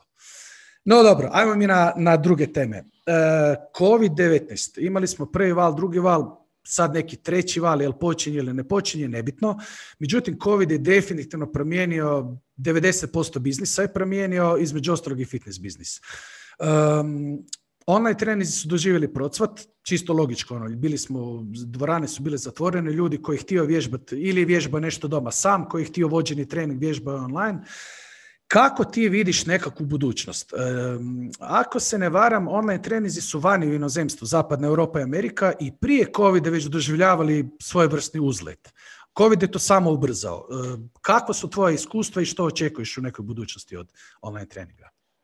Pa gle, on, online trening je definitivno nešto, ajmo reći, ja, ono što si rekao, nije novost, samo ja mislim kod nas, kod nas je kak je vani to ubrzalo, kod nas je ubrzalo dolazak toga da se bilo i kod nas trenera koji rade e, već dugo online, samo je sad to, ajmo reći, ubrzalo stvar. Ja sam ženi pokrenuo prije dvije godine, čak tri, e, prvi, prve zapravo online treninge, to je on, a neki online sistem koji, koji ima. A, vani je to već jako dugo. Ja surađujem sa, sa Steveom Maxwellom, on radi zadnjih 13 godina online trening. Mm. Tako da to, to je jako dug period i to je dokaz samo da to funkcionira i da može biti održivo. I ja mislim definitivno ono, ne trebamo se ponašati ono, znaš, prije ljudi išli su, jahali su konja, stigo je auto, pa sad ajmo svi dalje jahat konja. Mislim, jednostavno treba se prilagođavati novim stvarima, trendovima, na kraju krajeva iz razloga da uopće opstaneš i preživiš, jer trenutno situacija je neizvjesna. Ovo što kažeš, mm. bio je prvi, drugi, treći, bit će još ko zna koliko, neće, moje mišljenje da neće to završiti tako brzo. Tako da ovoga... Pa da i završi, pojavit će se nešto novo, mislim, ovo je... Da, ali al da je ono definitivno, ono što kažem, iz svega treba naučiti nešto i ako ti je već stalo da imaš svoje poslovanje i nastaviš raditi to što radiš, razmisli kako se mogu prilagoditi, jer realno danas, današnji svijet ide brzo i treba se prilagođavati. Ako se prilagođavaš, opstaješ, ako se ne prilagođavaš, jednostavno ispadaš iz, iz vagona. To smo ono, imao sam ja intervju nedavno sa, sa Miketom, baš je on to rekao na taj način, da kaže moram skočiti ovaj vlak, moram raditi na taj način. Ne, ne mogu se sjetiti za tri godine da bi sad bilo dobro raditi online. I to je to, jer na, na kraju krajeva ono što ja gledam, planiraj da će ova glupost, ono da kažem tak, trajati dugo ako se završi prije, super, super. radit ćeš ono što si radio, plus ako radiš online imat ćeš još jedan dodatni prihod pa ćeš mm. raditi bolje nego što si radio prije toga. I to je to vrlo jednostavno. E sad, ako neko ima mis, ono, problem i ne želi uopće ulaziti u to i kaže ja, meni online glupost, ok, nema problema, ali onda ono, onda ćeš, druga adaptacija će ti biti mijenjaj posao, radi nešto mm. drugo i to je to jer jednostavno stvari su takve i trenutno neizvjesno, a da će online biti definitivno budućnost, sigurno, mislim, ako gledamo ne samo fitness i druge, druge stvari, ono što sad najbolje u svijetu funkcionira su realno stvari koje su online, sve drugo je teško i sad možemo se mi boriti protiv toga, voljeti to ili ne voljeti, nemaš izbora ako želiš, ono, kako se kaže, opstati i, i preživjeti. Uh, vani je online, ono, doslovno, znam, im znam dosta sad trenera vani s kojima se čujem redovno i radim, mislim, konkretno ako pričamo o, američkom tržištu, oni su, od kad je znači krenula korona, online trening radili su super i prije mm. toga to su iznosi nemogući koje oni ostvaruju online, sad ostvaruju još više i, i još lakše im ide prodaja i sve. Kod nas isto tak treneri koji su krenuli raditi online, ja znam da rade jako dobro i znam da neki od njih zarade više nego šta bi zaradili, šta su zaradili neki kad su radili uživo. Tako da definitivno može se i treba težiti tome. Na kraju gledam, ovo što smo rekli, danas sutra imat ćeš dvije stvari pa biraj šta želiš. E, dalje prednost toga je definitivno to da daje ti neku slobodu, daje ti, ono, nisi toliko vezan fizički za, za svoju dvoranu. Malo je možda i bolji poslovni model iz jedne perspektive, ima sve svojih prednosti i nedostataka, ali iz, ono, ako gledamo prvenstveno kao biznis, ono, na stranu sad ko šta voli, ne voli, ako gledamo kao biznis, online model je po meni puno bolji biznis. Da, ja primjećujem kod ljudi s kojima radim, e, dio klijenata je čak prepoznao za sebe benefite online treninga u smislu ne moraš sjesti u auto, ne moraš uzimati stvari, ne moraš voziti po kiši, snijegu, parkirat se, presvlačenje, doma odradiš i ono, Tako je, ti realno umjesto, jako. Um, umjesto dva sata potrošiš pola sata, da. na primjer. Ili da. sat, opet je bolje. Da, čak i Mikita tu kod mene u podcastu rekao da je primijetio da neki klijenti mu se već neće nikad više vratiti u džim koliko su se naviknuli trenira doma. Mm. Uh, daj mi reci, molim te, znam da si na predavanju fitness učilišta priča onom jednom nizozemcu koji zarađuje ono sulude novce, na online treninzima. Koji je, ajmo, u biti, ajmo sad konkretno. Poznat si da daješ dosta freemium, a htio bi da ljudi kroz ovaj podcast dobiju nešto gratis, što će ih naravno zainteresirati da i plate tvoje usluge za, za ono, za sazna više, learn more. Međutim, taj nizozemac, koja je njegova tajna, ako možeš ljudima baciti neke cifre koliko klijenata, eventualno koliko novaca, makar ajde, ne moramo o novcima uopće pričati, i koji su to alati koji su danas na raspolaganju trenerima koje mogu koristiti za razvoj fitness uh, poslovanja? Konkretno alati, tu mislim na software, na mm ne znam, Canva, Zoom, Skype, trenera iz šta god, ti si tu jači. Kožem. Pa evo kad si spomenuo već njega, nadam se da će uskoro, u svakom slučaju ove godine, biti gost ovoga, kod mene, vidjet ću samo u kojem obliku. Um, mislim, on je prije svega kvalitetan je trener, prije svega drugo, um, kad, kad meni nije bilo jasno prvo kak neko može toliko, to su cifre, ja sad kad kažem um, prvi put kad sam ga upoznao imao je, ja mislim, 500 tisuća klijenata online. Sad ima više od 5000, sigurno, ako ne i više. Govorimo o tržištu koje je duplo veće od Hrvatske, ali još uvijek daleko manje od USA ili tak neke zemlje. Tako je, znači pričamo o nizozemskom tržištu i tome da radi na nizozemskom jeziku. Tako da, znači, to je nekih ne...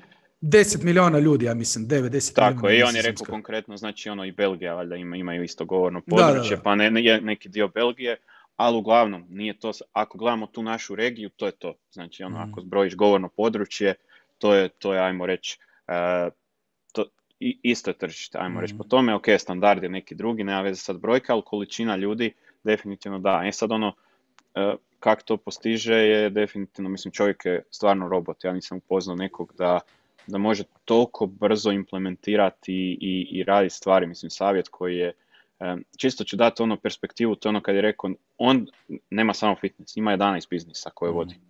Znači ima 11 biznisa, nisu svi vezani uz fitness, ima i marketinšku agenciju, ima znači preraso je ono doslovno u, u hrpu stvari, ali ovoga je jedna usporedba koju znam gdje će se kod nas pronaći jako malo ljudi u tome, e, znači on pročita dnevno jednu knjigu. Mhm. Dnevno na način koji, tako da Uh, mislim, meni je to bilo uopće smiješno čuti, mislim, kak, kak dođeš na ovu ideju, ovoga, uzme, kupi, uh, znači, audio verziju, naruči knjigu, onda audio verziju stavi na puta tri i tak čita. Da, da, da. Ne, Mhm. i, i rekao, ok, super, dobro, to, to mi je jasno, ali to je jedan segment i on tak funkcionira u svakom segmentu. Znači šta god radi u svom poslu funkcionira na taj način. I to jednostavno, on raste jako, jako brzo, a da bi to sve mogao, naravno, gradiš i tim, a, gradiš, gradiš ovoga, a, sustave neke oko toga, dosta toga automatizira, a, radi svoje neke aplikacije vlastite za, za to, tako da ono ima tu stvari koje se ono nadograđuju, napređuju, ali prije svega je pristup mindset svemu ključan. Baš sam danas stavio jednu objavu kako, kako uopće možeš. Stvar je samo, ja, ja mislim da je uvijek stvar u glavi koliko možeš u nešto vjerovati, ne, koliko vjeruješ da ti je nešto moguće ili nemoguće. Ja znam da trenerima zvuči puno 500 klijenata online, zvuči ti puno 1000, zvuči ti puno 5, kad kažeš da neko ima 10, to ti zvuči abstraktno i to nisu mali iznosi, to su ono, ne znam, 300, 400, 500 eura uh, paketi online treninga, tako da realno mo- može svako izračunat šta, šta i koliko je točno, ali ovoga, e, ako ne vjeruješ da to možeš, jer sad ne, na ovo će dvije, možeš imati dvije reakcije. Jedna će osoba reći, ma daj, ovo su gluposti, ovo nema smisla. Druga osoba će se pitat, Super, Kako se to kak ja može to napraviti? napraviti? Da. kak, e, to su, to su dvije reakcije na ovo. I sad ovi koji se pitaju kak bi to mogli, će krenut nešto i raditi po tom pitanju i početi se zanimati za to.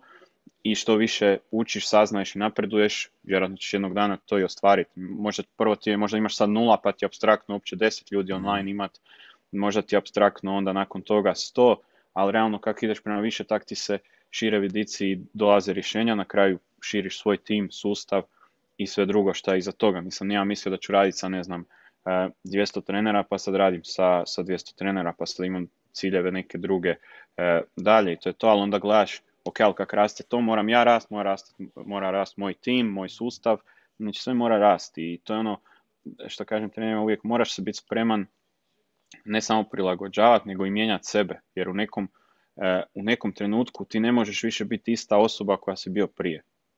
Jed- Jednostavno ne možeš, ne možeš imati iste navike eh, ko kad si radio u korporaciji, ne znam, od 9 do 5, ili sad kad imaš, eh, ne znam, na primjer ti sad dižeš svoju akademiju, imaš, rekao si, ne znam, upisalo se toliko i toliko ljudi, upisat će se jednog dana 100. Nećeš funkcionirati više isto ko sad kad imaš 9. I, i to, to je jednostavno tako.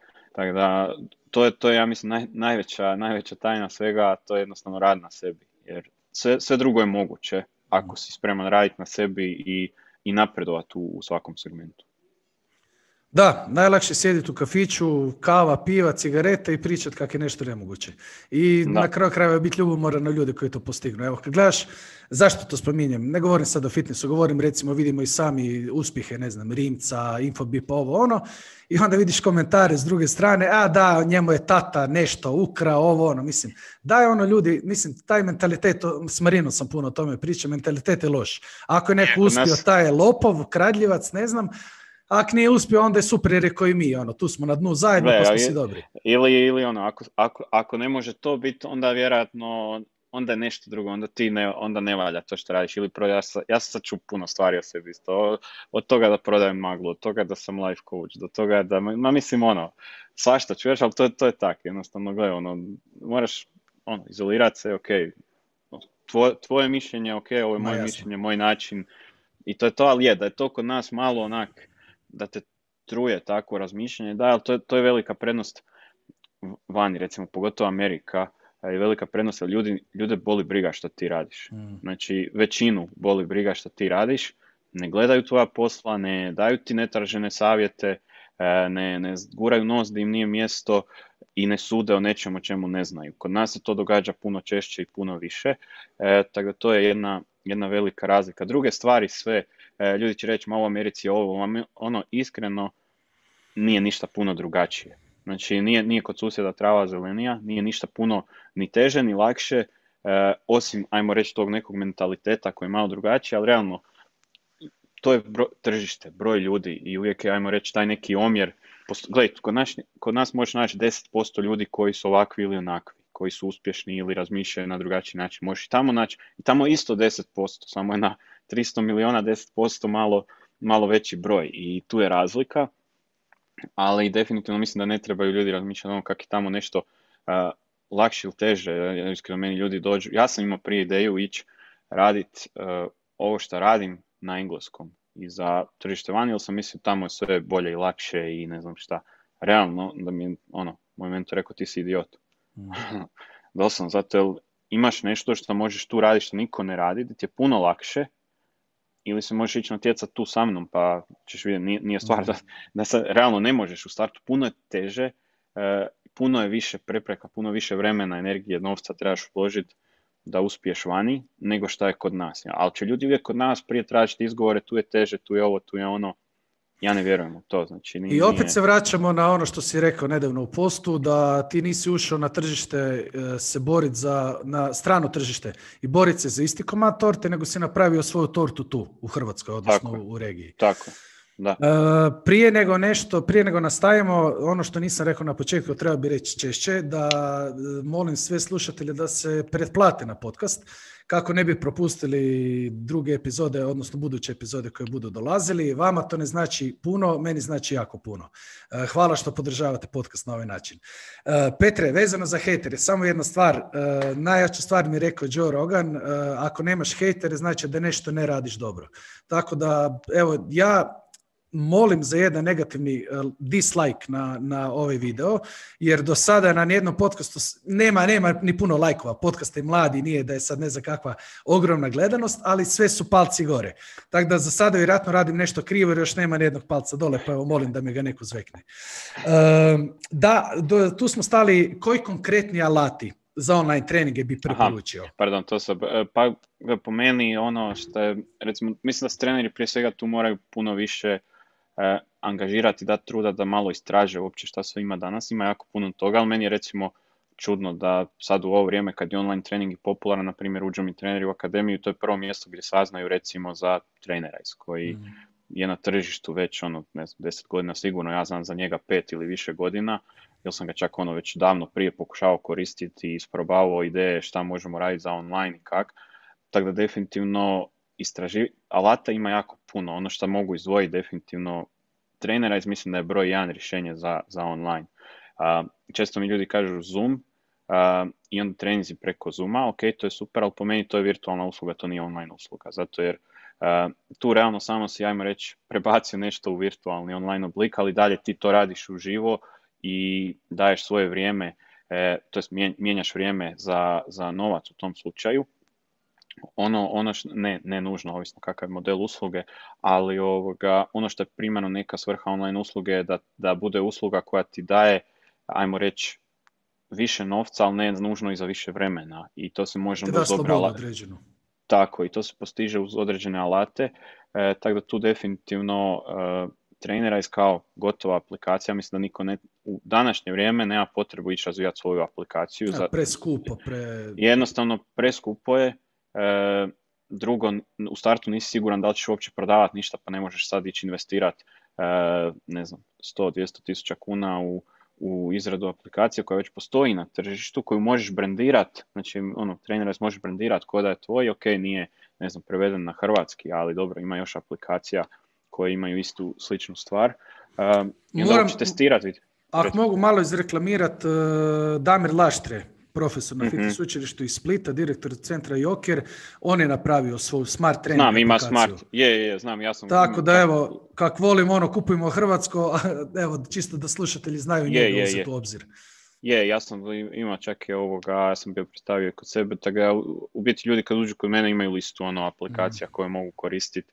Uh, imam trenera iz ovo, volim isto, ajmo reći, na, naše, pa onda nek bude E, i to gore, tak da... Ako ima još koja, slobodno spomeni, nemam ništa protiv. Da, ima, ma ne, ne, ono, ima, mislim, ovisno za šta, to je sad ono širok pojam, ako mm. gledamo konkretno treninge, e, ima ih puno, ima ih stvarno, mm. pogotovo od kad je ovo krenulo, ima ih sve više, ja kažem, e, trenera iz isključivo iz razloga jer e, sve što neko drugi napravi, oni će napraviti. Mm. Zato jer su jednostavno vodeći, E, vodeći na tržištu i šta god je neko implementirao u ovom periodu, ja sam to pratio u zadnjih par mjeseci, oni su to uveli sad kod sebe isto. Mm. Tako da realno neće možda biti odmah i onda će ljudi skočiti s te platforme na drugu, da, da. ali će, se ali će izgubit će sve benefite s ove, onda realno teško se, pre... ali realno, mislim tu si znaš da će uvijek biti to u, u, u, skladu s onim što je u trendu i što je najnovije i, i da se širi i postaje sve bolje i bolje. Tako da to je definitivno druga opcija koja, koja je dobra, znači postoji gotovih, ajmo reći ako neko hoće raditi svoj membership site gdje, gdje bazira svoje treninge, možeš raditi svoj vlastiti, ali imaš gotovih rješenja danas od ne znam, e, recimo Kajabi je dobra platforma, tamo sam slagao Stivu sad njegov zadnji program, e, šta još, još imamo, imamo, mislim, od, od tih membership, ajmo reći, to opet kažem najbolje, ne mogu nabrojiti ih sad više, ali ono, kažem, kažem nešto što je najbolje, ono što je najbolje nije ni jeftino uvijek, da, da. ali ono, ja kažem, ne, ne volim jeftina rješenja, tako da, um, kogod, ono što ne volim, recimo ono, mis, jedan savjet možda za to, nemojte tražiti besplatne alate, mm. znači ono, uh, jer besplatan alat će ti toliko i dati, znači to je, mm. to je isto to ko da kažem trenerima sad, ono što mislim da je bitno zapravo da spomenemo, nije možda toliko vezano, kad se već spomenuo alate, razmišljam na sljedeći način. Imaš fizički posao, za to plaćaš najam. Imaš određene druge stvari koje plaćaš. I sad imaš online gdje ne plaćaš ništa, a onda ti ne može biti skup, ne znam, e, software ili alat od 200, 300, 500 eura mjesečno ako treba, ako će ti pomoći da ti imaš više klijenata i da radiš efikasnije. Mi, mi u dvorani plaćamo Mindbody već za, koji je najbolji definitivno na, na, na tržištu, najkompleksniji ima, znači sve što, što ti treba za vođenje dvorane nije jeftin, znači oni ne znam, izađe nas 300-400 eura svaki mjesec, ali realno, gledam s druge strane, da ne plaćam to, plaću bi nekog na plaći svaki mjesec da radi te stvari koje radi program. Tak da, da nevjerojatno ono... koliko su ljudi kod nas neskloni nešto platiti. E, Daću ti primjer koji sam primijetio da u onom prvom lockdownu hrpa ljudi je, e, grupni trening uglavnom trajao sat vremena. Međutim, kad su ljudi se prebacili na, na Zoom, skratili su, gle čuda, na 40 minuta. Zašto? Obrazloženje je bilo da je to sasvim dovoljno za dobar trening, a zapravo iza toga stoji da je Zoom besplatan do 40 minuta, a da preko 40 minuta moraš platiti. I odjedno su svi treni za sat vremena postali treni za 40 minuta. Ali pazi, mora, moraš platiti 13 dolara. Ma strašno, ja sam uzeo, ja sam platio Zoom, ne znam, za godinu dana 90 dolara, tako ne, ono, smiješno. Da, da, da. Ovoga, ali općenito ljudi na našim prostorima su dosta neskloni plaćat nešto, svi free, free, ono, pa evo ti, ja, ono, radio su korporacije, ja sam radio godinama, uvijek ono, ili imaš karte, sponzor si nekome, sponzoriramo, ne znam, Cibonu ili nekoga, mm. e, ili imaš karte, imam, ali daj, brate, kupi, podrži taj klub, ono, ili kad su koncerti, pa daj, plati koncert, plati ulaznicu, ali baš, baš mi taj naš mentalitet još, malo... Još čak i razumijem kad je nešto baš jako skupo, pa ne može čovjek platiti, pa ono, ali kad se radi, ne znam, ulaznica 20 kuna. pa evo ti, evo, ti, evo ti dobar primjer MMA, znam da isto pratiš i da, si, da je Marino mm. vezano za MMA, imali smo fenomenalnu promociju, FFC, Uh, Orsa Zovka je to radio, imali su brutalno dobre evente, borci, produkcija, sve. Dvorane su bile prazne. Zašto? Zato jer ljudima bilo žao platiti 50 kuna. I onda takav jedan fantastičan projekt propadne, zato jer smo mi takvi debosi koji ne želimo platiti. Ja uvijek kad nešto plaćam, ja gledam da podržavam rad onoga kog plaćam. Yeah. Da, tražim vrijednost za sebe i želim dobiti protuvrijednost, želim dobiti value for money, ali opet ne mogu stalno žicat, niti želim stalno žicat nešto gratis. Ovo što si rekao, ako se neko ne može priuštiti, daću mu. Ja sam imao primjer gdje mi je klijentica ostala bez posla i veli izlazim iz online grupe, ne mogu više plaćati. Rekao, ne ja rekao, imaš volju dalje trenirati? Imam. Ostala je u grupi, ostavio sam je u grupi. Pa normalno da ćeš tako nekome, ono, da ćeš biti čovjek. Ali ono, žicanje, to, to ne podnosim. Je, je, je, slažem se. To, to je ono, kažem ono, plat. S druge strane, zbog sebe ja sam naučio ono, jeftine stvari su najskuplje stvari. Tako da. otkud god krenuli. Tako da doslovno ono, e, neko će reći sad ne znam, e, slušalice ove su 300 eura. Nije stvar 300 eura, ali one su dobre. Znači, mhm. ono, meni olakšavaju posao jako puno, nemam žice oko sebe, nemam, ako sam negdje gdje je buka, bolje se čuje, znači meni znači one za posao. Ja sam spreman tu platiti više jer mi daje vrijednost više. A ne da, se, da kup, a s druge strane svaki mjesec ću kupovati druge za, ne znam, 10 eura i na kraju godine Nećeš ono, ima da, ništa. Znači ono, na kraju ću i potrošiti više. Mogli bi to i s trenerima usporediti. Platit ćeš jeftinog trenera i onda ćeš za godinu dana imati strgana ramena, koljena, donji dio kralježnice, Tako. zato si ili, ili to, ili, ili s druge strane Neće ni, nisi ni platio dovoljno pa nećeš dati ni pažnju. To. Da, to isto. S druge strane, ja uvijek kažem trenerima, daj ono, naplati se koliko vrijediš. Jer, evo sad, jedan primjer samo, kad je krenulo ovo sa online i sad, ne, to sam imao, i sad ne znam, koliko ćeš naplatiti online sad mjesečno, ne znam, članarinu ili nešto. I sad to trenerica naplati 300 kuna. I rekao, koliko naplaćuješ uživo? Pa isto 300.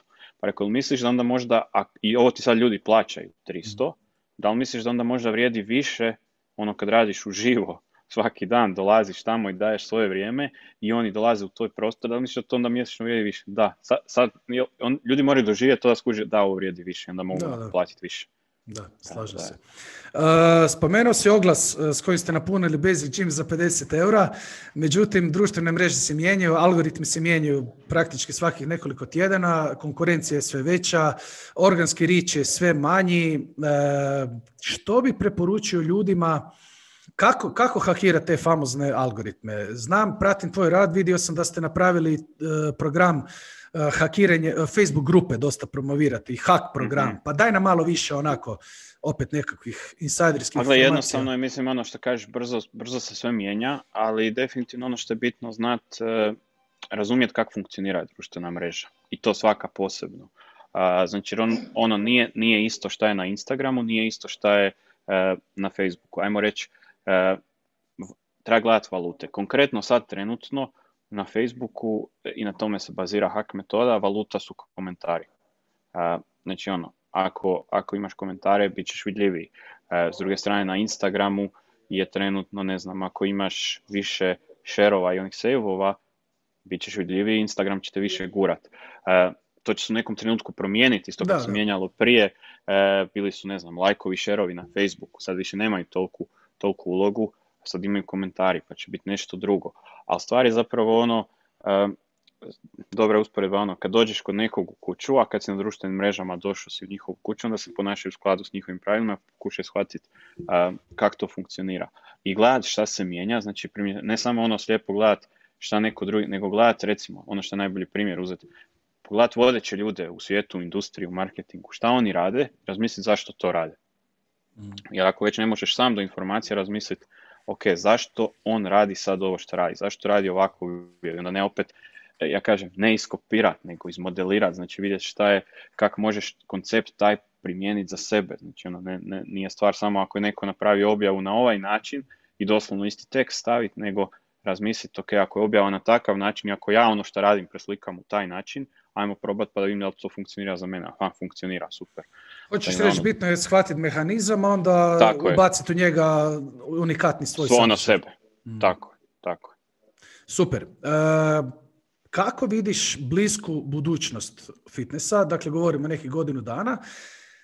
Naravno da će to pandemija utjecati na to. Međutim, aj, ajmo gledati one super scenarij. Sada cijepivo vrijedi, kolektivni imunitet, ovo ono i nastavit će se sve relativno normalno. E, kako vidiš, dakle, prvih godinu dana, kako vidiš neku srednjoročnu budućnost fitnessa, tipu kroz idućih pet godina, što će se događati? Koji trendovi će se gasiti, a koji trendovi će zapravo novi se pojavljivati? Pa gledaj, mislim da iskreno velikim fitnessima neće biti lako.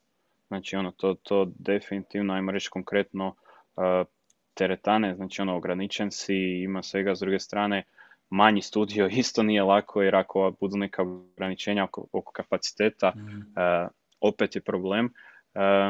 po meni jedina sigurnost trenutno i za neko dulje vrijeme, ako gledamo sa strane biznisa i prihoda, to je, e, to je online, a onda nakon toga vidjeti, ok, prilagođavati se situaciji, ali definitivno tamo što, sve što, ajmo reći, vuče veću količinu ljudi neće biti baš, baš dobro. Ono. Mm. Tako da tu definitivno bi malo uh, razmislio kako će, kak će uopće biti koncipirana usluga. Morat će biti veće cijene, nema više jeftinih cijena, znači to sigurno. Uh, Petre, evo, recimo da nas gleda mladi trener ili trenerica, tek ulazi u ovaj fitness svijet i želi se na ovom, ajmo reći, dosta zagušenom tržištu probit. E, koje bi mu dao nekakve osnovne savjete, s čime započeti, kako da se etablira na ovom tržištu? Ok, pa ono što prvo je znači ono definitivno vjerovati u sebe, prvo, prvo to, jer ajmo reći vidim da često to mlađi treneri ne vjeruju u sebe ili ih je strah isto tak starih kolega ili nešto pa onda non stop uče, uče, uče i nikad ne staju učiti, a realno godine prolaze i nikad ne počneš raditi, ali da sam ja tako razmišljao, ako gledam svoju karijeru, ne bi još uvijek počeo raditi ili bi razmišljao, znam dovoljno. Mm. znači vjerovati u sebe i, i krenut, krenut raditi krenut stvarati novac za sebe. Znači, to, to je definitivno prva stvar. Mislim, ja sam krenuo na faksu, nije to bio neki novac. Isto je u svakom, ajmo reći, nije, nije to sad ne pričamo o, samo o karijeri fitnessu, isto, isto svud. Kreni što prije, jer ono, realno, što prije kreneš, lakše će biti kasnije. Ali definitivno prva stvar je onda je normalno, prvo pitanje kako uopće doći do klijenata prvih. kreni, kreni raditi online, kreni raditi, mislim online marketing u Mm. smislu e, objavljuj svaki dan objave. Znači neće biti više. Ako u, startu i ništa, ako ti nije prioritet odmah nešto dobiti od klijenata, sve jedno radi. Nemoj čekat, nedavno sam imao razgovor s jednim trenerom koji je isto tako mlađi, a, da, kad ću htjet krenut raditi, onda ću ja krenut raditi krenut raditi svoj mar- marketing. Mm. Kreni ga sad, kreni ga odmah raditi, jer sjetit ćeš se, ne znam, za tri mjeseca, aj sad bi ja klijenta. I sad očekuješ da ćeš odmah naći klijenta danas. Neće. Hoćeš reći, Ali- kreni stvarati osobni brand, da u trenutku kad poželiš monetizirati brand, da je već tu, a ne da ga Tako. tek onda počinješ stvarati. Tako je, jer, jer ako kreneš od danas i recimo ne veze, još si na faksu, ja da sam znao ove stvari koje znam danas na faksu, ja bi već onda krenuo raditi sve ovo što radim danas na društvenim mrežama i realno do danas bi imao puno više klijenata i mogao bi naplatiti puno više svoje usluge, to, je, to sam 100% siguran. Um, tako da realno nije, nije prerano, pitaju me, to to je pitanje koje dobijem od mlađih, je li prerano? Nije prerano, kreni e, raditi, razmisli s kim želiš, s kim voliš raditi, kreni pisati korisne stvari online. Nemoj trošiti e, vrijeme na društvenim mrežama bez veze, nego kreni ga ko- koristiti efikasno. Nemoj, nemoj koristiti društvene mreže da budu društvene mreže, nek tvoje poslovne mreže. To je velika Odnosno, razlika. ne budi konzument sadržaja, budi kreator sadržaja. Tako je, tako je. Ono, nađi par osoba koje pratiš, koje ti daju konkretne korisne stvari, nemoj pratiti gluposti, Mm. upijaj to korisno minimalno, ali većinu vremena posveti tome da ti kreiraš gore i gradiš svoju mrežu potencijalnih klijenata koji će kasnije biti tvoji klijenti. To je definitivno prvi korak. Ima jedna jednostavna stvar, to je, to je Russell Brunson u svojoj knjizi napisao, ako objavljuješ svaki dan sljedećih 365 dana, nikad više nećeš morat brinuti o novcu. Znači, to, To mi je jako definitivno- zanimljivo. E, moram priznati da i sam objavljujem rijeđe, puno rijeđe. Nekada jer nemam vremena, što je naravno izgovor, samo jer e, za bitne stvari se nađe vremena. Međutim, neki puta imam dojam onak joj ne želim spemat previše ljude. E, je li Mhm. objava svaki dan spam ili je zapravo neophodno da... Pa gle, ja kažem jednostavno, ako, ako objavljuješ gluposti, onda je. Ako objavljuješ nešto korisno, eh, onda nije. Ja vjerujem da trenerima, ako im objavim, recimo, da radim pet puta više sadržaja ovog besplatnog kojeg radim ovak, to, jest da ne radim jedan dnevno, nego ne znam, pet dnevno, ako bi to bilo korisno, da niko se ne bi bunio da je dosadno. ali ako krenem objavljivati gluposti, vjerojatno ću biti dosadan. Ili ako objavljujem, znači ono, ja kažem to e, šta je pisac htio reći objave, ono da staviš svoju sliku, a, a ni- ni- nikakve, nikakve priče iza toga, znači to isto nije, nije rješenje, ali ako imaš sadržaj koji daje vrijednost, da je to nešto što ljudi žele čitati, ja kažem svima, pitaj se, jel ovo što stavljaš na društvene mreže sad, da li je vrijedno toga da ta osoba odvoji svojih 5 ili 10 minuta da to čita? Ako je, stavi, ako Mhm. nije, napravi bolje. Jer u tom slučaju nećeš biti dosadan sigurno. Ali ako, a s druge strane, kad tak nešto radiš, onda nećeš ni moći napraviti toliko da si dosadan, zato jer to Mhm. mora biti kvalitetno. Tako da Kvalitetno. definitivno um, tu je razlika velika. A neko onda to shvati doslovno pa objavljuje svaki dan nešto sam, nije rješenje ni objaviti samo da objaviš nešto. Znači da bude, e ja sam, je objavio sam danas, Mhm. ok, stavio sam sliku sebe, super, ali Mhm. to, to nije poanta toga, nije poanta objaviti svoju sliku, nego daj onda uz tu sliku napiši par smislenih rečenica ili ono, ne znam, treneri što često naprave stavi ne znam, sliku sebe ili sliku neke vježbe ili video neke vježbe bez teksta uz to. Bez teksta Ajde, objasni onda, da, onda ukratko onda objasni, gle, ova vježba pomoći će ti da napraviš to, to, to i to, izvodi ju e, tad i tad na taj i taj način, e, prikladna je za te i te osobe. Mhm. Ako želiš više saznati o ovome, javi mi se. To je dobra objava, jer si sve Mhm. pokrio u njoj. Dao si korisno, dao si e, savjet i još si ljude pozvao da ti se jave za pomoć ako treba. To je to. Super, evo prelazimo na završni set pitanja. Ja ih zovem superhuman pitanja jer ih postavljam svakom gostu, a zapravo njihova svrha je dati nekakve finalne savjete. Zašto? Zato jer e, jednostavno e, želim pomoći ljudima da ubrzaju svoj napredak. Kao što ti radiš sa svojim klijentima, ali ne samo sa klijentima, ti to radiš sa svim svojim pratiteljima koji dobivaju hrpu savjeta besplatnih, tako ja dosta toga želim većinu sadržaja dati ljudima besplatno da se unaprijede kvalitetu života. Pa evo, krenimo.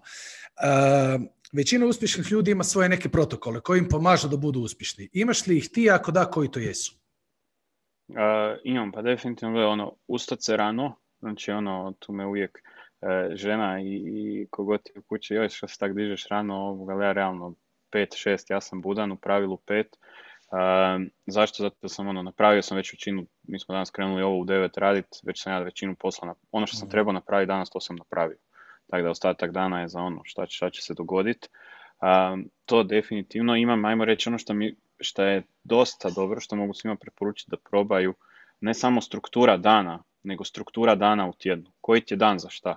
mm Znači, ono, to, to je nešto uh, što meni recimo ispada ponedjeljak, mi je sastanak sa mojim timom i rad na idejama u poslu za taj tjedan. Znači, i sve što radim u ponedjeljak, ja ajmo reći uh, ono što može utjecati na, na moj posao taj tjedan. Uh, utorak, srijeda, četvrtak su radni dani, to je ono gdje će biti rad s klijentima, gdje će, jutarnji dio je uvijek isti. Tu mhm. radim stvari za sebe. Znači ono šta, šta želim, šta moram napraviti, šta je nešto što mi osigurava budućnost neku. Znači to radim ujutro. Ovoga, ostatak dana je ono što se treba napraviti i uvijek na kraju dana, ne znam, pet popodne, to sam od, od Krega dobio tu, tu ideju, ali puno je lakše svima funkcionirati na taj način brain dump napraviti, znači sve što mi u glavi ispišem van iz glave. Mm. Znači ono, uh, bilježnica, papir i sve što je u glavi van iz glave, zato jer jednostavno događa, ne događa ti se ono da se u devet na večer sjetiš nečeg i onda joj, ono da samo da ne zaboravim do sutra ujutro. ono, tako da, ovo, ovo, drugi dan se dignem znam, i tu već odredim, ok, sve ispisao, sve misli u glavi, sve ideje, sve zadatke što trebam, šta ja trebam napraviti, šta treba neko drugi, koga trebam podsjetiti na šta, to je sve na papiru za sljedeći dan već onda mogu bezbrižno nakon toga uh, stat. Petak recimo konkretno ne radim. Znači petak je ovoga uh, dan za razmišljanje, više dan di ću raditi na nekim novim idejama, čitat ću, učit ću, ali u pravilu neće, neću imati pozive. Znači taj mhm. dan imat ću ne znam, možda podcast ili nešto što mi je ono ok, jer je nešto novo, znači nije, nije neka rutina, tako da ono, na to ću pristat ali na, taj dan nema poziva, to je ono striktno ne, tu, tu nemam poziva. Ono, iznimni slučaj da je ne znam šta da gori ono nekom pod petama, pa ajde, ali inače nema, nema šanse. Tako da ono, definitivno ono, uh, znati si složiti svoj raspored, vikend, uh, meni ja kažem vikend ko vikend, ono, ok, meni je zapravo subota, nedelja, subotom volim više odmoriti jer ovih pet dana te malo onak mm. uh, izmori, onda subotu volim predahnuti, nedelja mi je već, više planiranje za sljedeći tjedan, znači to nedelja prije podne, tu napravim plan za, za sljedeći tjedan i to je u pravilu, to, to, je, ne, to je nešto ono globalno čega se pokušavam pridržavati u 90% slučaja. Znači uvijek ima neki, nikad ne može savršeno biti, ali to je recimo kak ja funkcioniram. Kad ideš spavat na večer, s obzirom da se budiš jutro rano? A, između 10 i 11 tu nigdje. Ok. Prilike. Okay. pokušavam, pokušavam u zadnje vrijeme što ranije, des, da 10 bude najkasnije. U skladu sa cirkadijskim ritmima. da, ali kad je iskreno ne volim zimu dok je mrak jutro malo je izazovno za, mm. za dići se. Kad je ljeto to mi je, znači nema mi ljepšeg dičica u petu jutro po ljeti, to, to je super. A zima je malo izazov. Tako da, ja sam rano rani pa te razumijem. Da. puno čitaš i educiraš. Čak si spomenuo cifru samo jedne edukacije koju si završio. Dakle, osoba si željna znanja jer svjesna, svjesna si koliko znanja zapravo te unapređuje i pomogniti da širiš dalje to. Imaš li omiljene knjige? E, mogu biti fitness, mogu biti marketing, ali i ne moraju. E, imaš li recimo top 3-4 knjige koje bi preporučio svakome da pročitaju? Pa na temelju onog što, smo, što smo pričali danas, recimo tri knjige koje, koje su evo sad kad smo pričali o ovoj strukturi dana uh, Perfect Week Formula od Krega Balantina, definitivno ono super kratka knjiga koju možeš ono u dva dana riješiti, a pomoć će ti ono posložiti. To mislim da ne, ne samo da je bitno za svakog ko ima neki svoj biznis, nego općenito moraš imati neku strukturu. Ja, ja još ne mogu danas razumjeti ljude koji nemaju svoj raspored. Znači, mm. ono, da, ne znaš kad šta radiš, koji dan ili u koje vrijeme. Meni je to teško shvatiti ili ne bi mogao funkcionirati na taj način, definitivno. Um, druga stvar isto što smo pričali vezano danas knjiga uh, One Thing, The One Thing, nisam sad, ne znam točno autora sada, ali One Thing, uh, to je the, the One, pardon, The One knjiga, a, koja je ona, ajmo reći, za neku filozofiju o poslu i o tome kako se fokusirati na jednu stvar, jer kažem svima često fokus je najbitnija stvar, ne možeš se fokusirati na ono pet različitih stvari i očekivati da ćeš biti super u tome. Ova knjiga jako dobro to objašnjava, čitao sam to davno, čitao sam i nedavno ponovo, volim neke knjige više puta pročitati. Mm. I definitivno zapravo dvije ili tri, ali to je ono zapravo sve to ko jedna knjiga, Dotcom Secrets, Expert Secrets, Traffic Secrets, što se marketinga tiče od, od Russella Bransona, to je ono di jednostavno tko to pročita i tko pročita više puta, a, razumjet će jako puno toga kako kak funkcioniraju neke stvari, ne samo u marketingu, nego u poslovanju i to, to je ono, ajmo reći, stvarno velika vrijednost u tim knjigama. Mislim da to vrijedi puno, puno više nego što vi imate. Što je cijena te knjiga, mislim da, da se čak dijela i besplatno nekad. Ono, tako da, mm. eto, tu definitivno, to je ono nešto top što bi izdvojio, što znam da svako ko pročita da će mu pomoći da bude bolji na osobnom i, i poslovnom planu, to, to sigurno. Koliko vremena, vremenski sad mi izrazi, uh, dnevno otprilike ulažeš u sebe? A, kognitivno, dakle čitanje, edukacije knjige i B fizički. Trening, šetnja, meditacija, šta god ti pomaže da budeš funkcionalniji.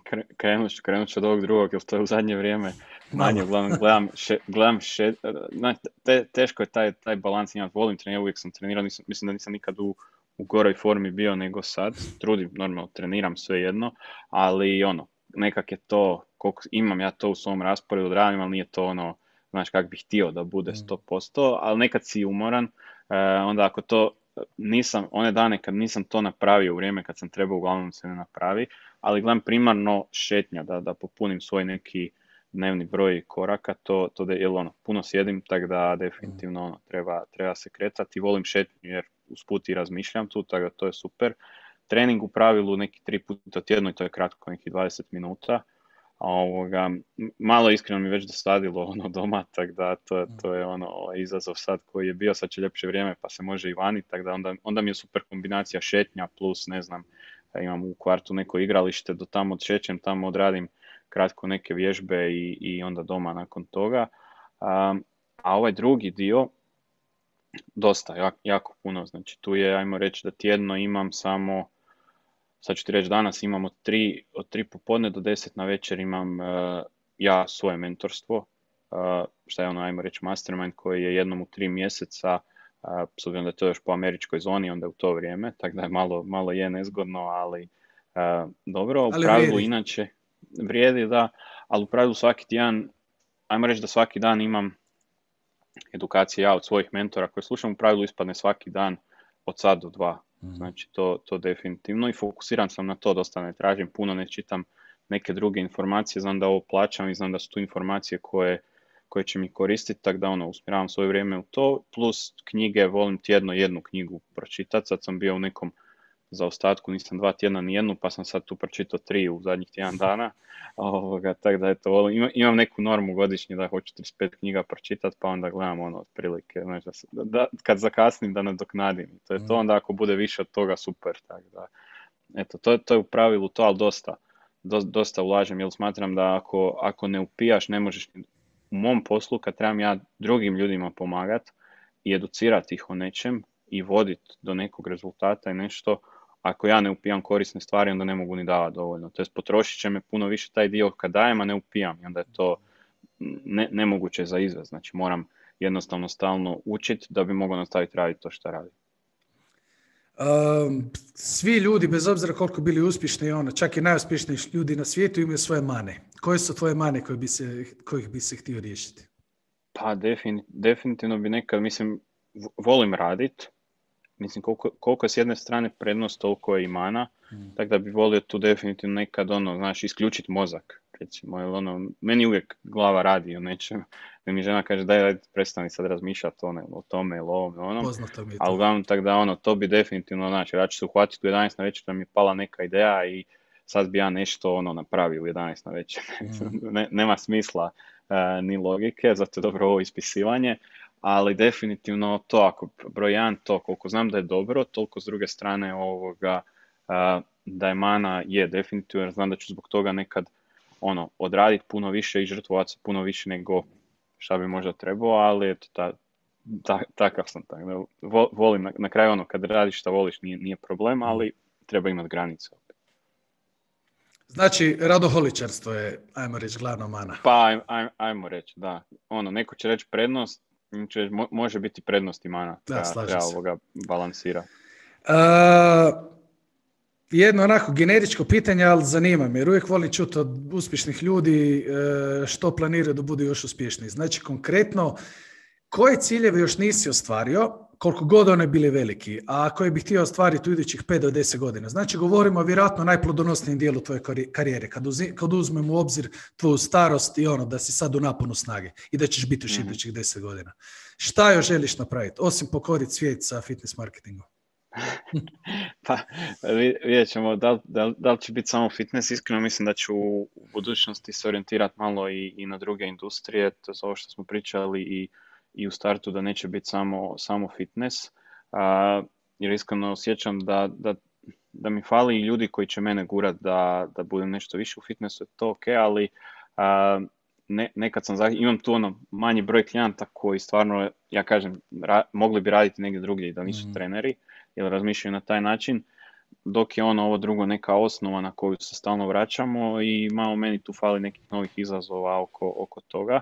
Tako da definitivno planiram širiti ali ne, ne, ne previše, nego ono konkretno ciljano na nešto što želim. Uh, mislim da će to u pravilu biti uglavnom kako, kako pokrenuti uspješno online poslovanje, mislim da ću ići u nekom tom smjeru, jer moje poslovanje je realno kompletno online, znači nemam, mm nemam ništa uživo i to je ono što mi se sviđa i mislim da to ljudima daje i neku slobodu i da ono živiš kako želiš i gdje želiš i to, to je ono nešto gdje znam da mogu, opet vraćamo se na ono gdje znam da mogu pomoći ljudima da to naprave.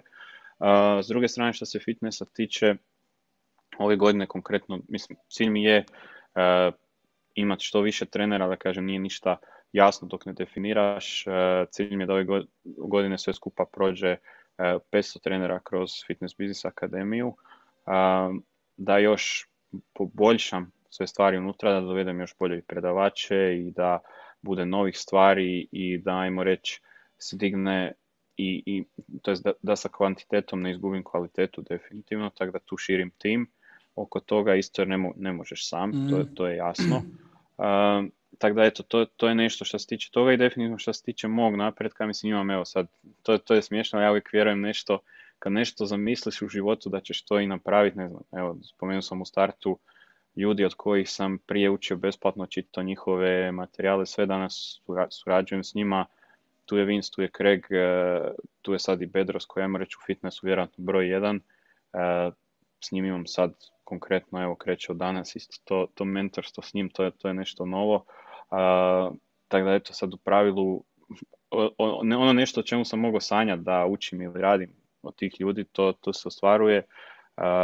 tako da eto, to, to sam zamislio, sad sljedeće je ostati s njima. U pravilu planiramo Vince, Vince Del Monte koji mi je zapravo ono prvi mentor, ja, on je, ajmo reći, vodeći u svijetu za online fitness biznis.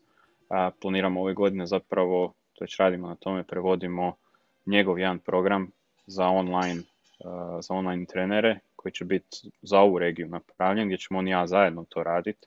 Tako da to je, to je nešto što će biti na našem tržištu, mislim, definitivno broj jedan za svakog online, za svakog trenera koji želi raditi online ili koji već radi online, da će moći ovoga dobiti stvarno ono što je u svijetu najbolje i najefikasnije. Na kraju ove stvari što smo pričali šta nizozemac radi, to su, to su tu neki ovoga sistemi, oni sitni koji rade razliku. Uh, tako da eto, to, to je šta će se izroditi svega toga, još ne znam, ali definitivno ono, uh, dođe uvijek neka nova ideja, planiram, iskreno uvijek mi je bila želja napraviti neki veliki fitness event, ali mislim da to neće biti uživo sad zbog ove situacije, ali mm. mislim da će biti ovoga Mislim da će biti nešto u online obliku gdje stvarno planiram dovesti onda vrhunske uh, predavače, ne, ne samo, iz, ne, znači u pravilu ne ono što treneri uvijek očekuju vrhunske trenere, nego one koji su vrhunski fitness biznisu. Znači da to bude, jer to je segment, mislim da nikom ne fali stručnih edukacija, ali da im fali edukacija o, o biznisu, o marketingu, to definitivno da. Tako da taj segment, to će sigurno biti negdje u, u toku ove godine a možda nešto čak i uživo, ne znam još sigurno, sve ovisi kako će biti ovoga putovanja i sve ostalo, ali da će biti online to, to sigurno. Pratim, pratim i priključit ću se definitivno. Da, zadnje, bit će mi drago. Zadnje pitanje prije nego ćemo se pozdraviti. Tvoja top tri savjeta za slušatelje vezano uz općenito nekakav uspjeh i zadovoljstvo u životu. Dakle, tri superhuman savjeta. Tri superhuman savjeta, pa definitivno prvi ono vjerovati da je sve moguće, to jest da za svaki problem postoji rješenje. To je ono čim se ja uvijek vodim. Znači svaki problem, neću razmisliti kak je to problem, nego koje rješenje mogu naći za to. druga stvar, Znači raditi ono što voliš raditi, ne raditi nešto što ti se ne da raditi jer nećeš to dugo raditi sigurno. A, tako da to je ono neki osobni poslovni kombinacija toga. Treće, e, treće definitivno ono, kreni, kreni, ako već nisi, kreni sad jer kasniš. Tako da, ono, dok razmišljaš, što više razmišljaš, kasniš sve više. Tako da, ono, treba, kažu, trebalo je krenuti jučer. Tako da, da, ako nisi jučer, kreni danas i nemoj razmišljati, zapravo jedan dobar savjet koji meni mentor dao, nemoj pokušavati shvatiti šta, šta će sve biti na putu do cilja, nego odredi cilj, kreni i putem ćeš shvatiti. Ne moraš sve shvatiti odmah. Tako da eto, to, to je ono što meni pomaže puno, jer prije sam pokušao uvijek svaki dio kako ću ovo, pa kad dođe do ovo, kako ću ovo, realno, ok, gle, imamo cilj, idemo to napraviti, kad krenemo, onda ćemo putem rješavati probleme. Mislim da nema osobe koja, koja nije s time muku mučila i neki moji projekti su bili upravo to. Moraju biti savršeni prije nego ih najavim i krenemo u realizaciju. Mm. I onda skužiš da kad te okolnosti primole da kreneš bez obzira jesi savršen ili nisi, da je zapravo taj strah od nesavršenosti izlišan i da je bilo bitno samo krenuti pa onda usput usavršavati ta, ne, nikad ne može biti savršeno. Mhm. Znači, možeš ti sad razmišljati trebalo bi ovak, trebalo bi onak, i prođu ti dvije, tri godine. Mislim, ja realno, vjerojatno, ovo što radim ne bi još krenuo raditi da nisam platio svog mentora koji mi je rekao upravo to, ok, ali le, ono, aj kreni raditi. Mhm. I onda zapravo kad kreneš raditi vidiš da stvari mogu biti drugačije i da samo drugo su sve izgovori. Znači, sam, pa nemam vremena sad za to, pa će ovo, pa dvorana mi je, pa ne znam. A realno, ono, treba krenuti i to je to, a savršeno nikad neće biti. da, ja nisam još naletio na nešto da je savršeno i da pa to tu tjera da budeš bolji i bit će bliže tome, ali sumnjam da će ikad iko reći, par ja to ne mogu nikad reći, sigurno sam neću nikad reći da je nešto što radim savršeno. Sigurno da nije i da uvijek može biti bolje i to je to. Petre, evo, došli smo do kraja. E, ja ti se e, zaista iskreno zahvaljujem na odvojenom vremenu. Ono što nismo rekli na početku, ti si u Sarajevu sa obitelji na odmoru. Uh, odvojio si dva sata svog obiteljskog vremena, svog vremena godišnjeg odmora da bi podijelio svoje znanje, svoje savjete, svoje iskustvo. Ja kao voditelj uh, jako to cijenim, nadam se da će i svi koji poslušaju ovaj podcast i u njemu pronađu određenu vrijednost to također cijeniti. Ako ste među njima, napišite nam u komentar, uh, kao što mi ćemo cijeniti vaš komentar ako vi cijenite ovo što ste čuli od nas. Još jedno ću ponoviti, ako vidite vrijednost u podcastu, ako vidite vrijednost u gostima koje dovodim, e, stavite, kliknite na pretplati mi na ono zvonce, tako ćete dobijati obavijesti o svim novim gostima. I ništa, evo Petre, vjerujem da se ove godine vidimo i uživo. Ako ne online ćemo se vidjeti sigurno u nekoj zgodi i vjerojatno ćemo ovo gostovanje ponoviti jer e, drago mi je, mislim kolege smo po struci marketingaši smo u duši obojica, e, imamo, jako, vidim da guštaš u tome, ja guštam u razgovoru o tome i ako nekom ove naši, ove naš chit chat pomogne, tim bolje, bit ćeš i ti zadovoljan ja, jel tako? Definitivno, definitivno, nadam, mislim na kraju svrha je, nadam se da će neko pomoći sve ovo što smo rekli, da je bilo korisnih informacija, bilo je onih okrutnih istina, ja ih uvijek volim reći, ali eto, nadam se da, da neki neće to shvatiti na krivi način, nego da će krenuti razmisliti, ok, kako mogu promijeniti, kako to mogu iskoristiti da bude bolje nešto kod mene, ne treba se na stvari uvrijediti, nego treba krenuti razmišljati kako ih možeš primijeniti da ti bude bolje i da drugi put to zvuči ugodnije, a neko okrutna istina. Da, baš ta okrutna istina, evo, drago mi da se tu spomenuo, ljudi to zaista ne vole čuti. E, ja sam dosta kritičan na nekakvim manama, znam pisati u postovima, ne znam, protiv pušenja, protiv cigarete i tako dalje, i tu su ljudi na ljute, kao šta tebe briga što ja pušim? Ma ne briga me, ja samo kažem da to nije dobro, a ti ako te ta informacija ne želiš čuti, ne možeš slušati. Međutim, da, mislim da ljudi uh, uvijek bi trebali ajmo reći, e, srdačnije prihvatiti grubu istinu nego onu uljepšenu laž. Tako da, evo. Je, to sigurno. Ništa, hvala ti još jedno puno, uživaju u ostatku godišnjeg i to je to. Hvala lijepo i lijepi pozdrav. Hvala tebi, pozdrav.